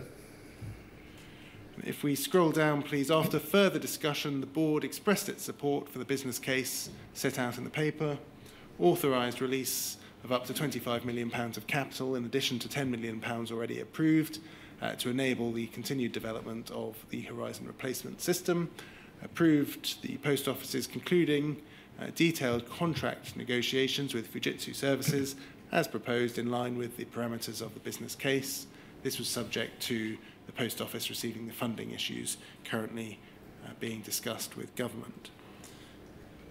Um, so, what do you think went wrong? I mean, why do you think the warnings like that from a senior uh, non-executive director weren't, uh, weren't heeded or it didn't lead to greater scrutiny?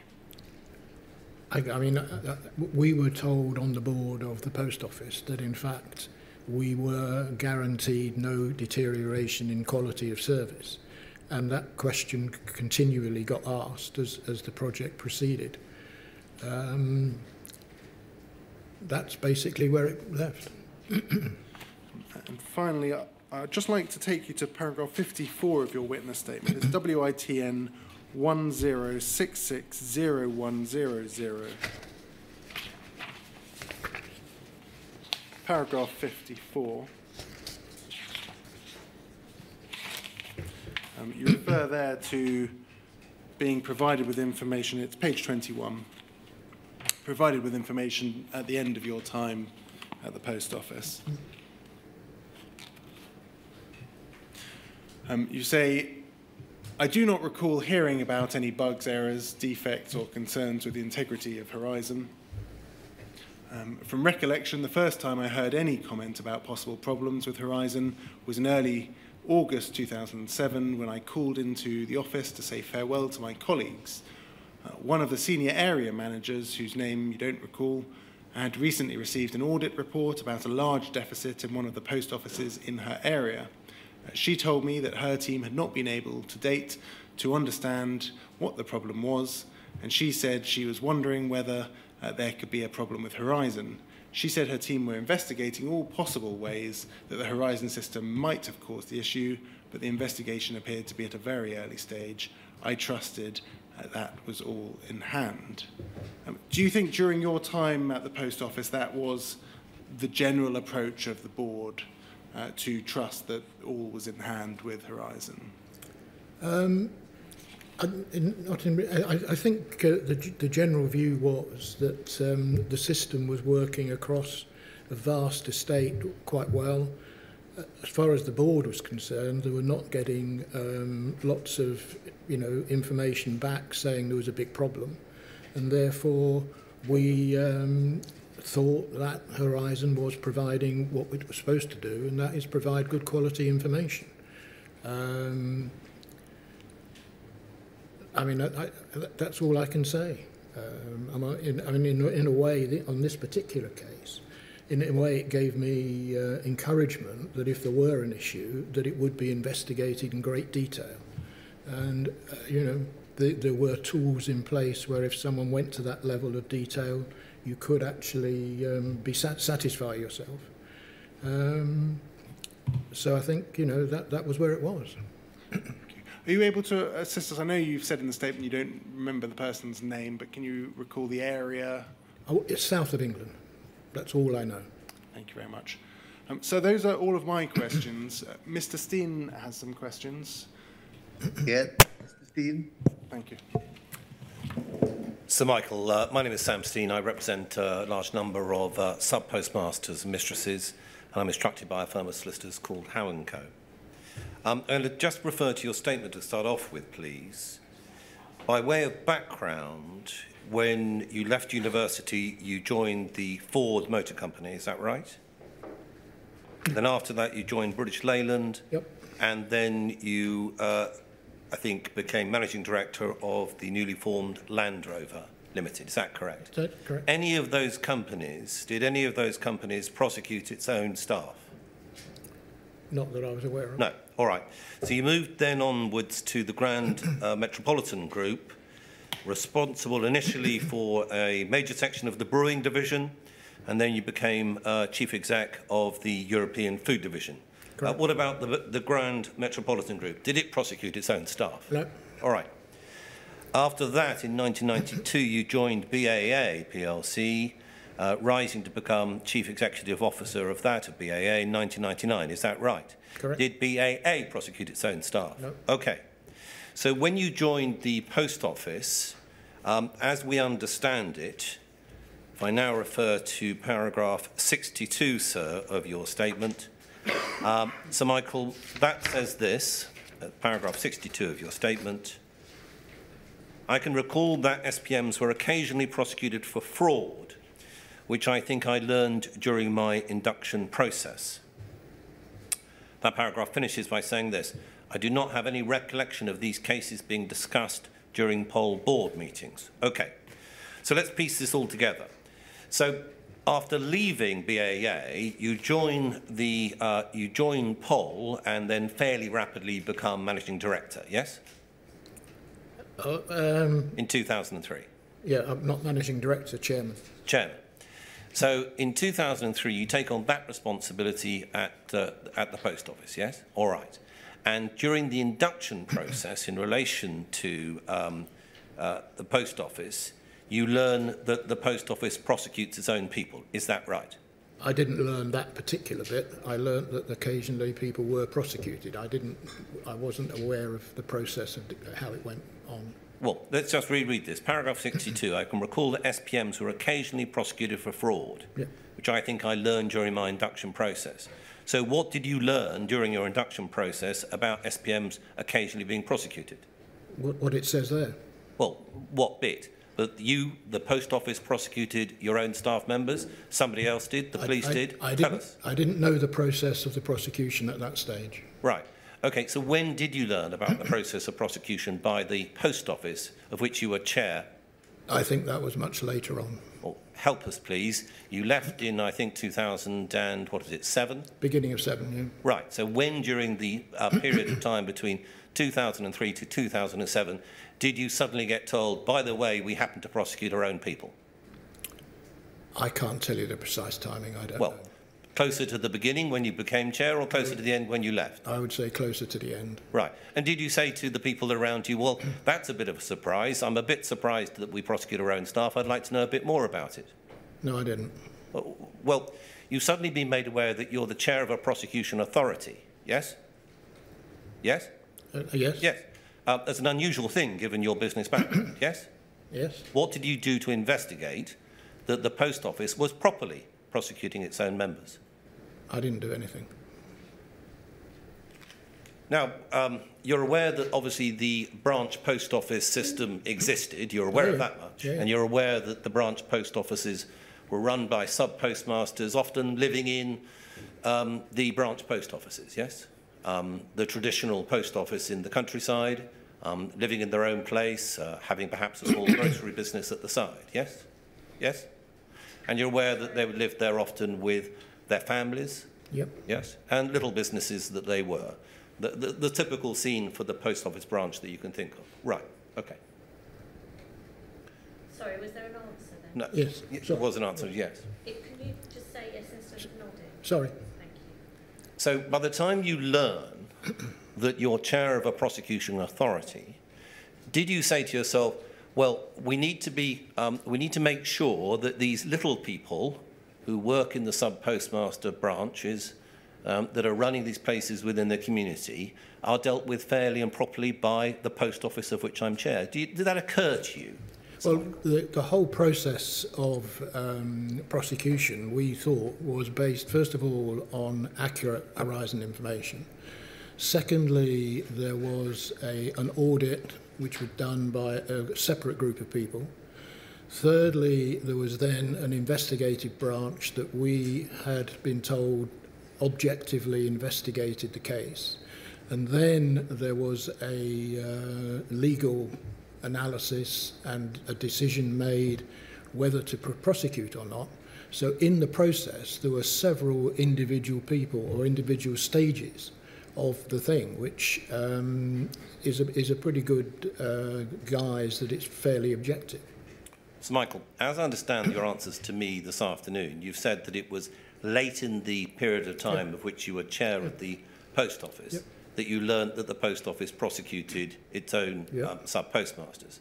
So, are you saying that it was late in the time that you were chair of the post office that you learnt about all these systems of investigation, all these systems of using the Horizon system? Did that come late in the day?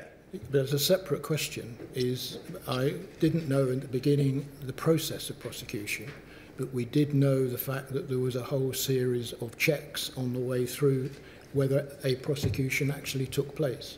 Right. So you're at least aware that there was an investigation system Oh, yeah. investigating your own sub postmasters. Yeah. Right. Okay. So let's hold on for that for the moment to that idea. What did you do to make sure that the investigation system was carried out properly and fairly? What did you do, Sir Michael? Um, when the Risk and Compliance Committee, we did discuss the processes, uh, but they were discussed at a general level. So you individually listened to the discussion. Did you take part? Did you dwell on the detail? Did you find out what the investigation process was? We knew what the investigation process was and how it went about it. Right. We didn't know about individual cases or anything like that. Okay. But you were aware on the second part of what you said that the Horizon system data was used to support or part of prosecution. All right. Now I'm going to take you to paragraph 51, 52 of your statement. Mr. Blake's touched on this before. So, uh, statement WITN 106-601-00, paragraph 51 at the bottom of page 19.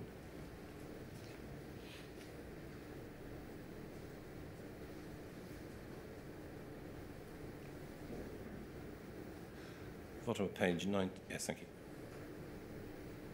If you go to the bottom of the page, 19, please. Right. So, bottom of page 19, paragraph 51, when you became the chairman of POL, you requested uh, to further your understanding of the Horizon system, okay?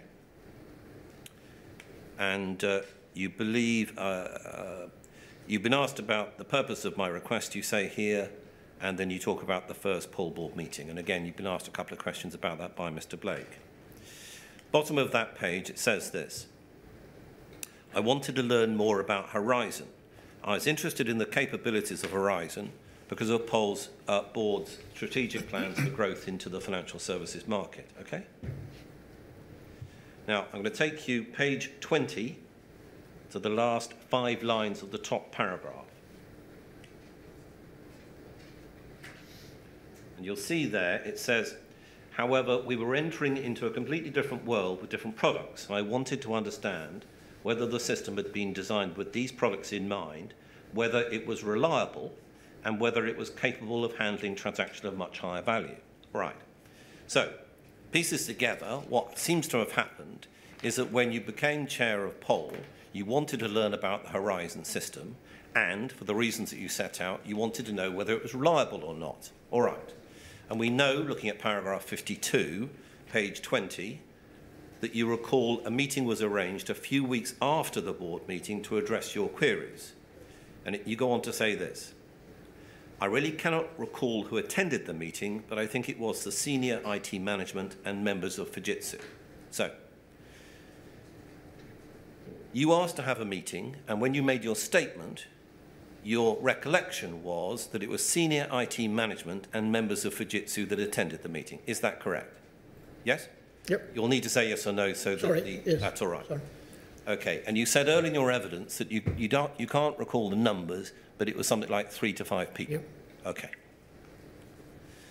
Now, um, help us a little bit more with that meeting. I'm going to take you to a document which is FUJ four zeros 2037.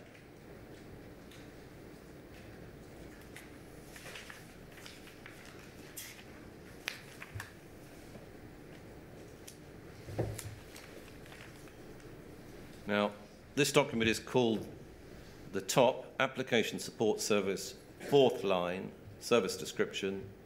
It's got left-hand side Fujitsu, Fujitsu services, and you'll see the date, which is in August 2006, okay? All right. Go further down that page, to the bottom of page one, you'll see who are the approval authorities for the document.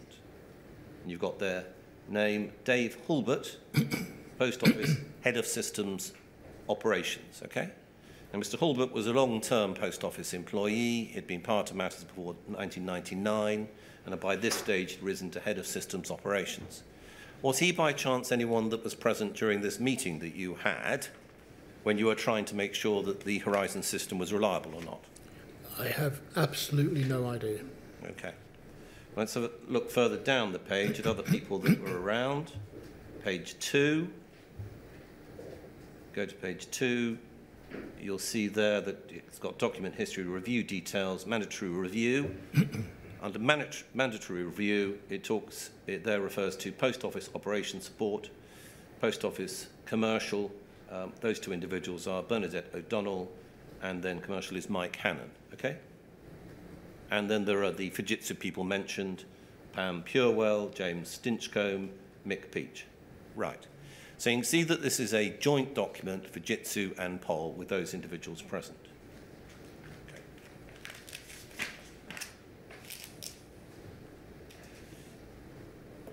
Now, can we go to page nine, please? The very bottom of page nine of that document.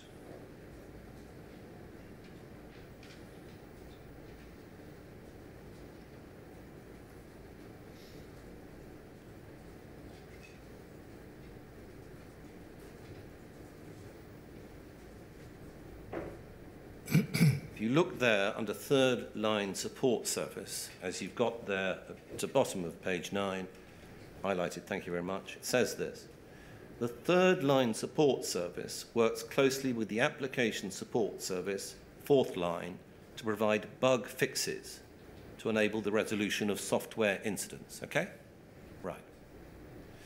So when you had your meeting with um, POL staff members and you think Fujitsu staff members to check to see if the Horizon system was reliable or not, were you told that were four lines of support for the Horizon system, which included third and fourth line to help with bug fixes? No, I wasn't told that. And the bug fixes were to enable the resolution of software incidents. Were you ever told that? No. Did you ever ask any questions about, well, what happens with this thing when it goes wrong? How do you fix it at that meeting? That, uh, not at that particular meeting. That meeting was purely focused on um, were, were, was the system capable of handling the new um, project uh, products that we were about to launch over the next two years. Well, it, it's a bit more than that, isn't it? Because you say in your statement that you wanted to make sure it was reliable for those Well, purposes. Yeah, but yeah, but, but the reliability in my mind was the whole capacity of the thing, so that if everybody started drawing the money out of the banking system at the same time, there was capacity in the system to handle it. So that that was the reliability thing that we were looking at at that, or I was asking questions about. Right, so at that meeting, you weren't told that there was an entire support system that related to bug fixes to make sure that any software incidents were kept under control. You said to, in answer to my questions that not at that particular meeting. When did you learn about the bug fixes? I, I, we, as I said all the way through, I, I did not hear lots of talk about um, uh, bug fixes, errors, and defects. Well, you said to me not at that particular meeting, which seems to imply that you were told later on at some other meeting about bug fixes. No, no. Okay. So, in essence, Sir Michael, it comes to this, does it? That you knew that the Horizon system data was being used in the prosecution of sub postmasters. Yep. Yes? You knew that there was an investigation department that was investigating sub postmasters. Yes? At some point in your work as chair of the post office, you learnt that sub postmasters were actually prosecuted by the post office. Yes? And at no point did you directly try and find out exactly how this system worked in order to make sure that accurate data was used to prosecute sub postmasters. Is that about it? If, uh, in terms of going through a personal audit of it, that's about it. During your time, Sir Michael, people were prosecuted, people were told to pay up for any shortfalls because apparently it was their fault because the post office didn't look into it. That was during your time, Sir Michael. No, I know. Is there anything you want to say to those people? I was going to say something at the end. Is this the appropriate time? Yes. Oh, right. No, no, I, I definitely want to say something. I mean, I, I have been saddened and appalled at the evidence that's come out over the uh, last 15 years since I left, where so many um, innocent postmasters and mistresses were unfairly prosecuted under the Horizon system and as a result suffered most dreadful experiences and devastating consequences, not just for themselves, but for their families. Uh, and I just want to put on record that I apologise unreservedly for the fact that whilst I was chairman of the post office, I did not discover the uh, problems with the Horizon system. And um, all I can say is I'm very, very sorry for the misery that that then subsequently caused. So I apologise again unreservedly. So, Michael, I understand you apologise. What part of it was your fault? You, you just don't really know. I mean, what, what else could I have done? I mean, um, I, I just I tried to make sure the business was run as well as I possibly could. Where there were issues reported to us, I tried to make sure that people took action. Um, there's, there's a lot much you can do. I mean, there, there are two ways I could have found out about information. One is reporting up from the organisation, and that didn't happen. The other thing that surprised me and still surprises me, and in other businesses I have had this happen, you get letters from outside, from all over the place, that says you need to investigate this. And, and I, never, I never got that kind of correspondence or, or messaging. Um, and as a result, that's how I operated over the four years I was there. Thank you very much. So I th- think that is all of the questions this afternoon, unless you, sir, have any questions. No, no, thank you, uh, Mr. Blake. Uh, thank you, Sir Michael, for making your witness statement and for answering all the questions which have been put to you this afternoon. I'm grateful. Thank you. So we'll begin again at 10 o'clock tomorrow, Mr. Blake. Yes, that's correct. And can I just check, because um, people tend to forget these things, um, normally on a Friday we finish at 3, but we've got two witnesses of, I guess, comparable length to today or, or not? Yes, I mean, we, we certainly have a lot to get through tomorrow. Um, Well, I was just going to ask whether people wanted to start at 9.30 to, to relieve them of the possibility that um, they would have to go significantly beyond 3 o'clock tomorrow. I see plenty of nods or people not shaking their heads. Um, providing all the arrangements can be made with the witnesses, then absolutely, I think that would um, be very helpful. Um, so perhaps we could proceed on that basis, and, and if it's going to be any say that, different. um, we'll proceed on the basis that we'll begin at 9.30 tomorrow, unless uh, the inquiry has to um, send out a message to everyone that it'll be 10 o'clock as usual. Thank you very much, sir. All right. Thanks very much, everyone. Bye.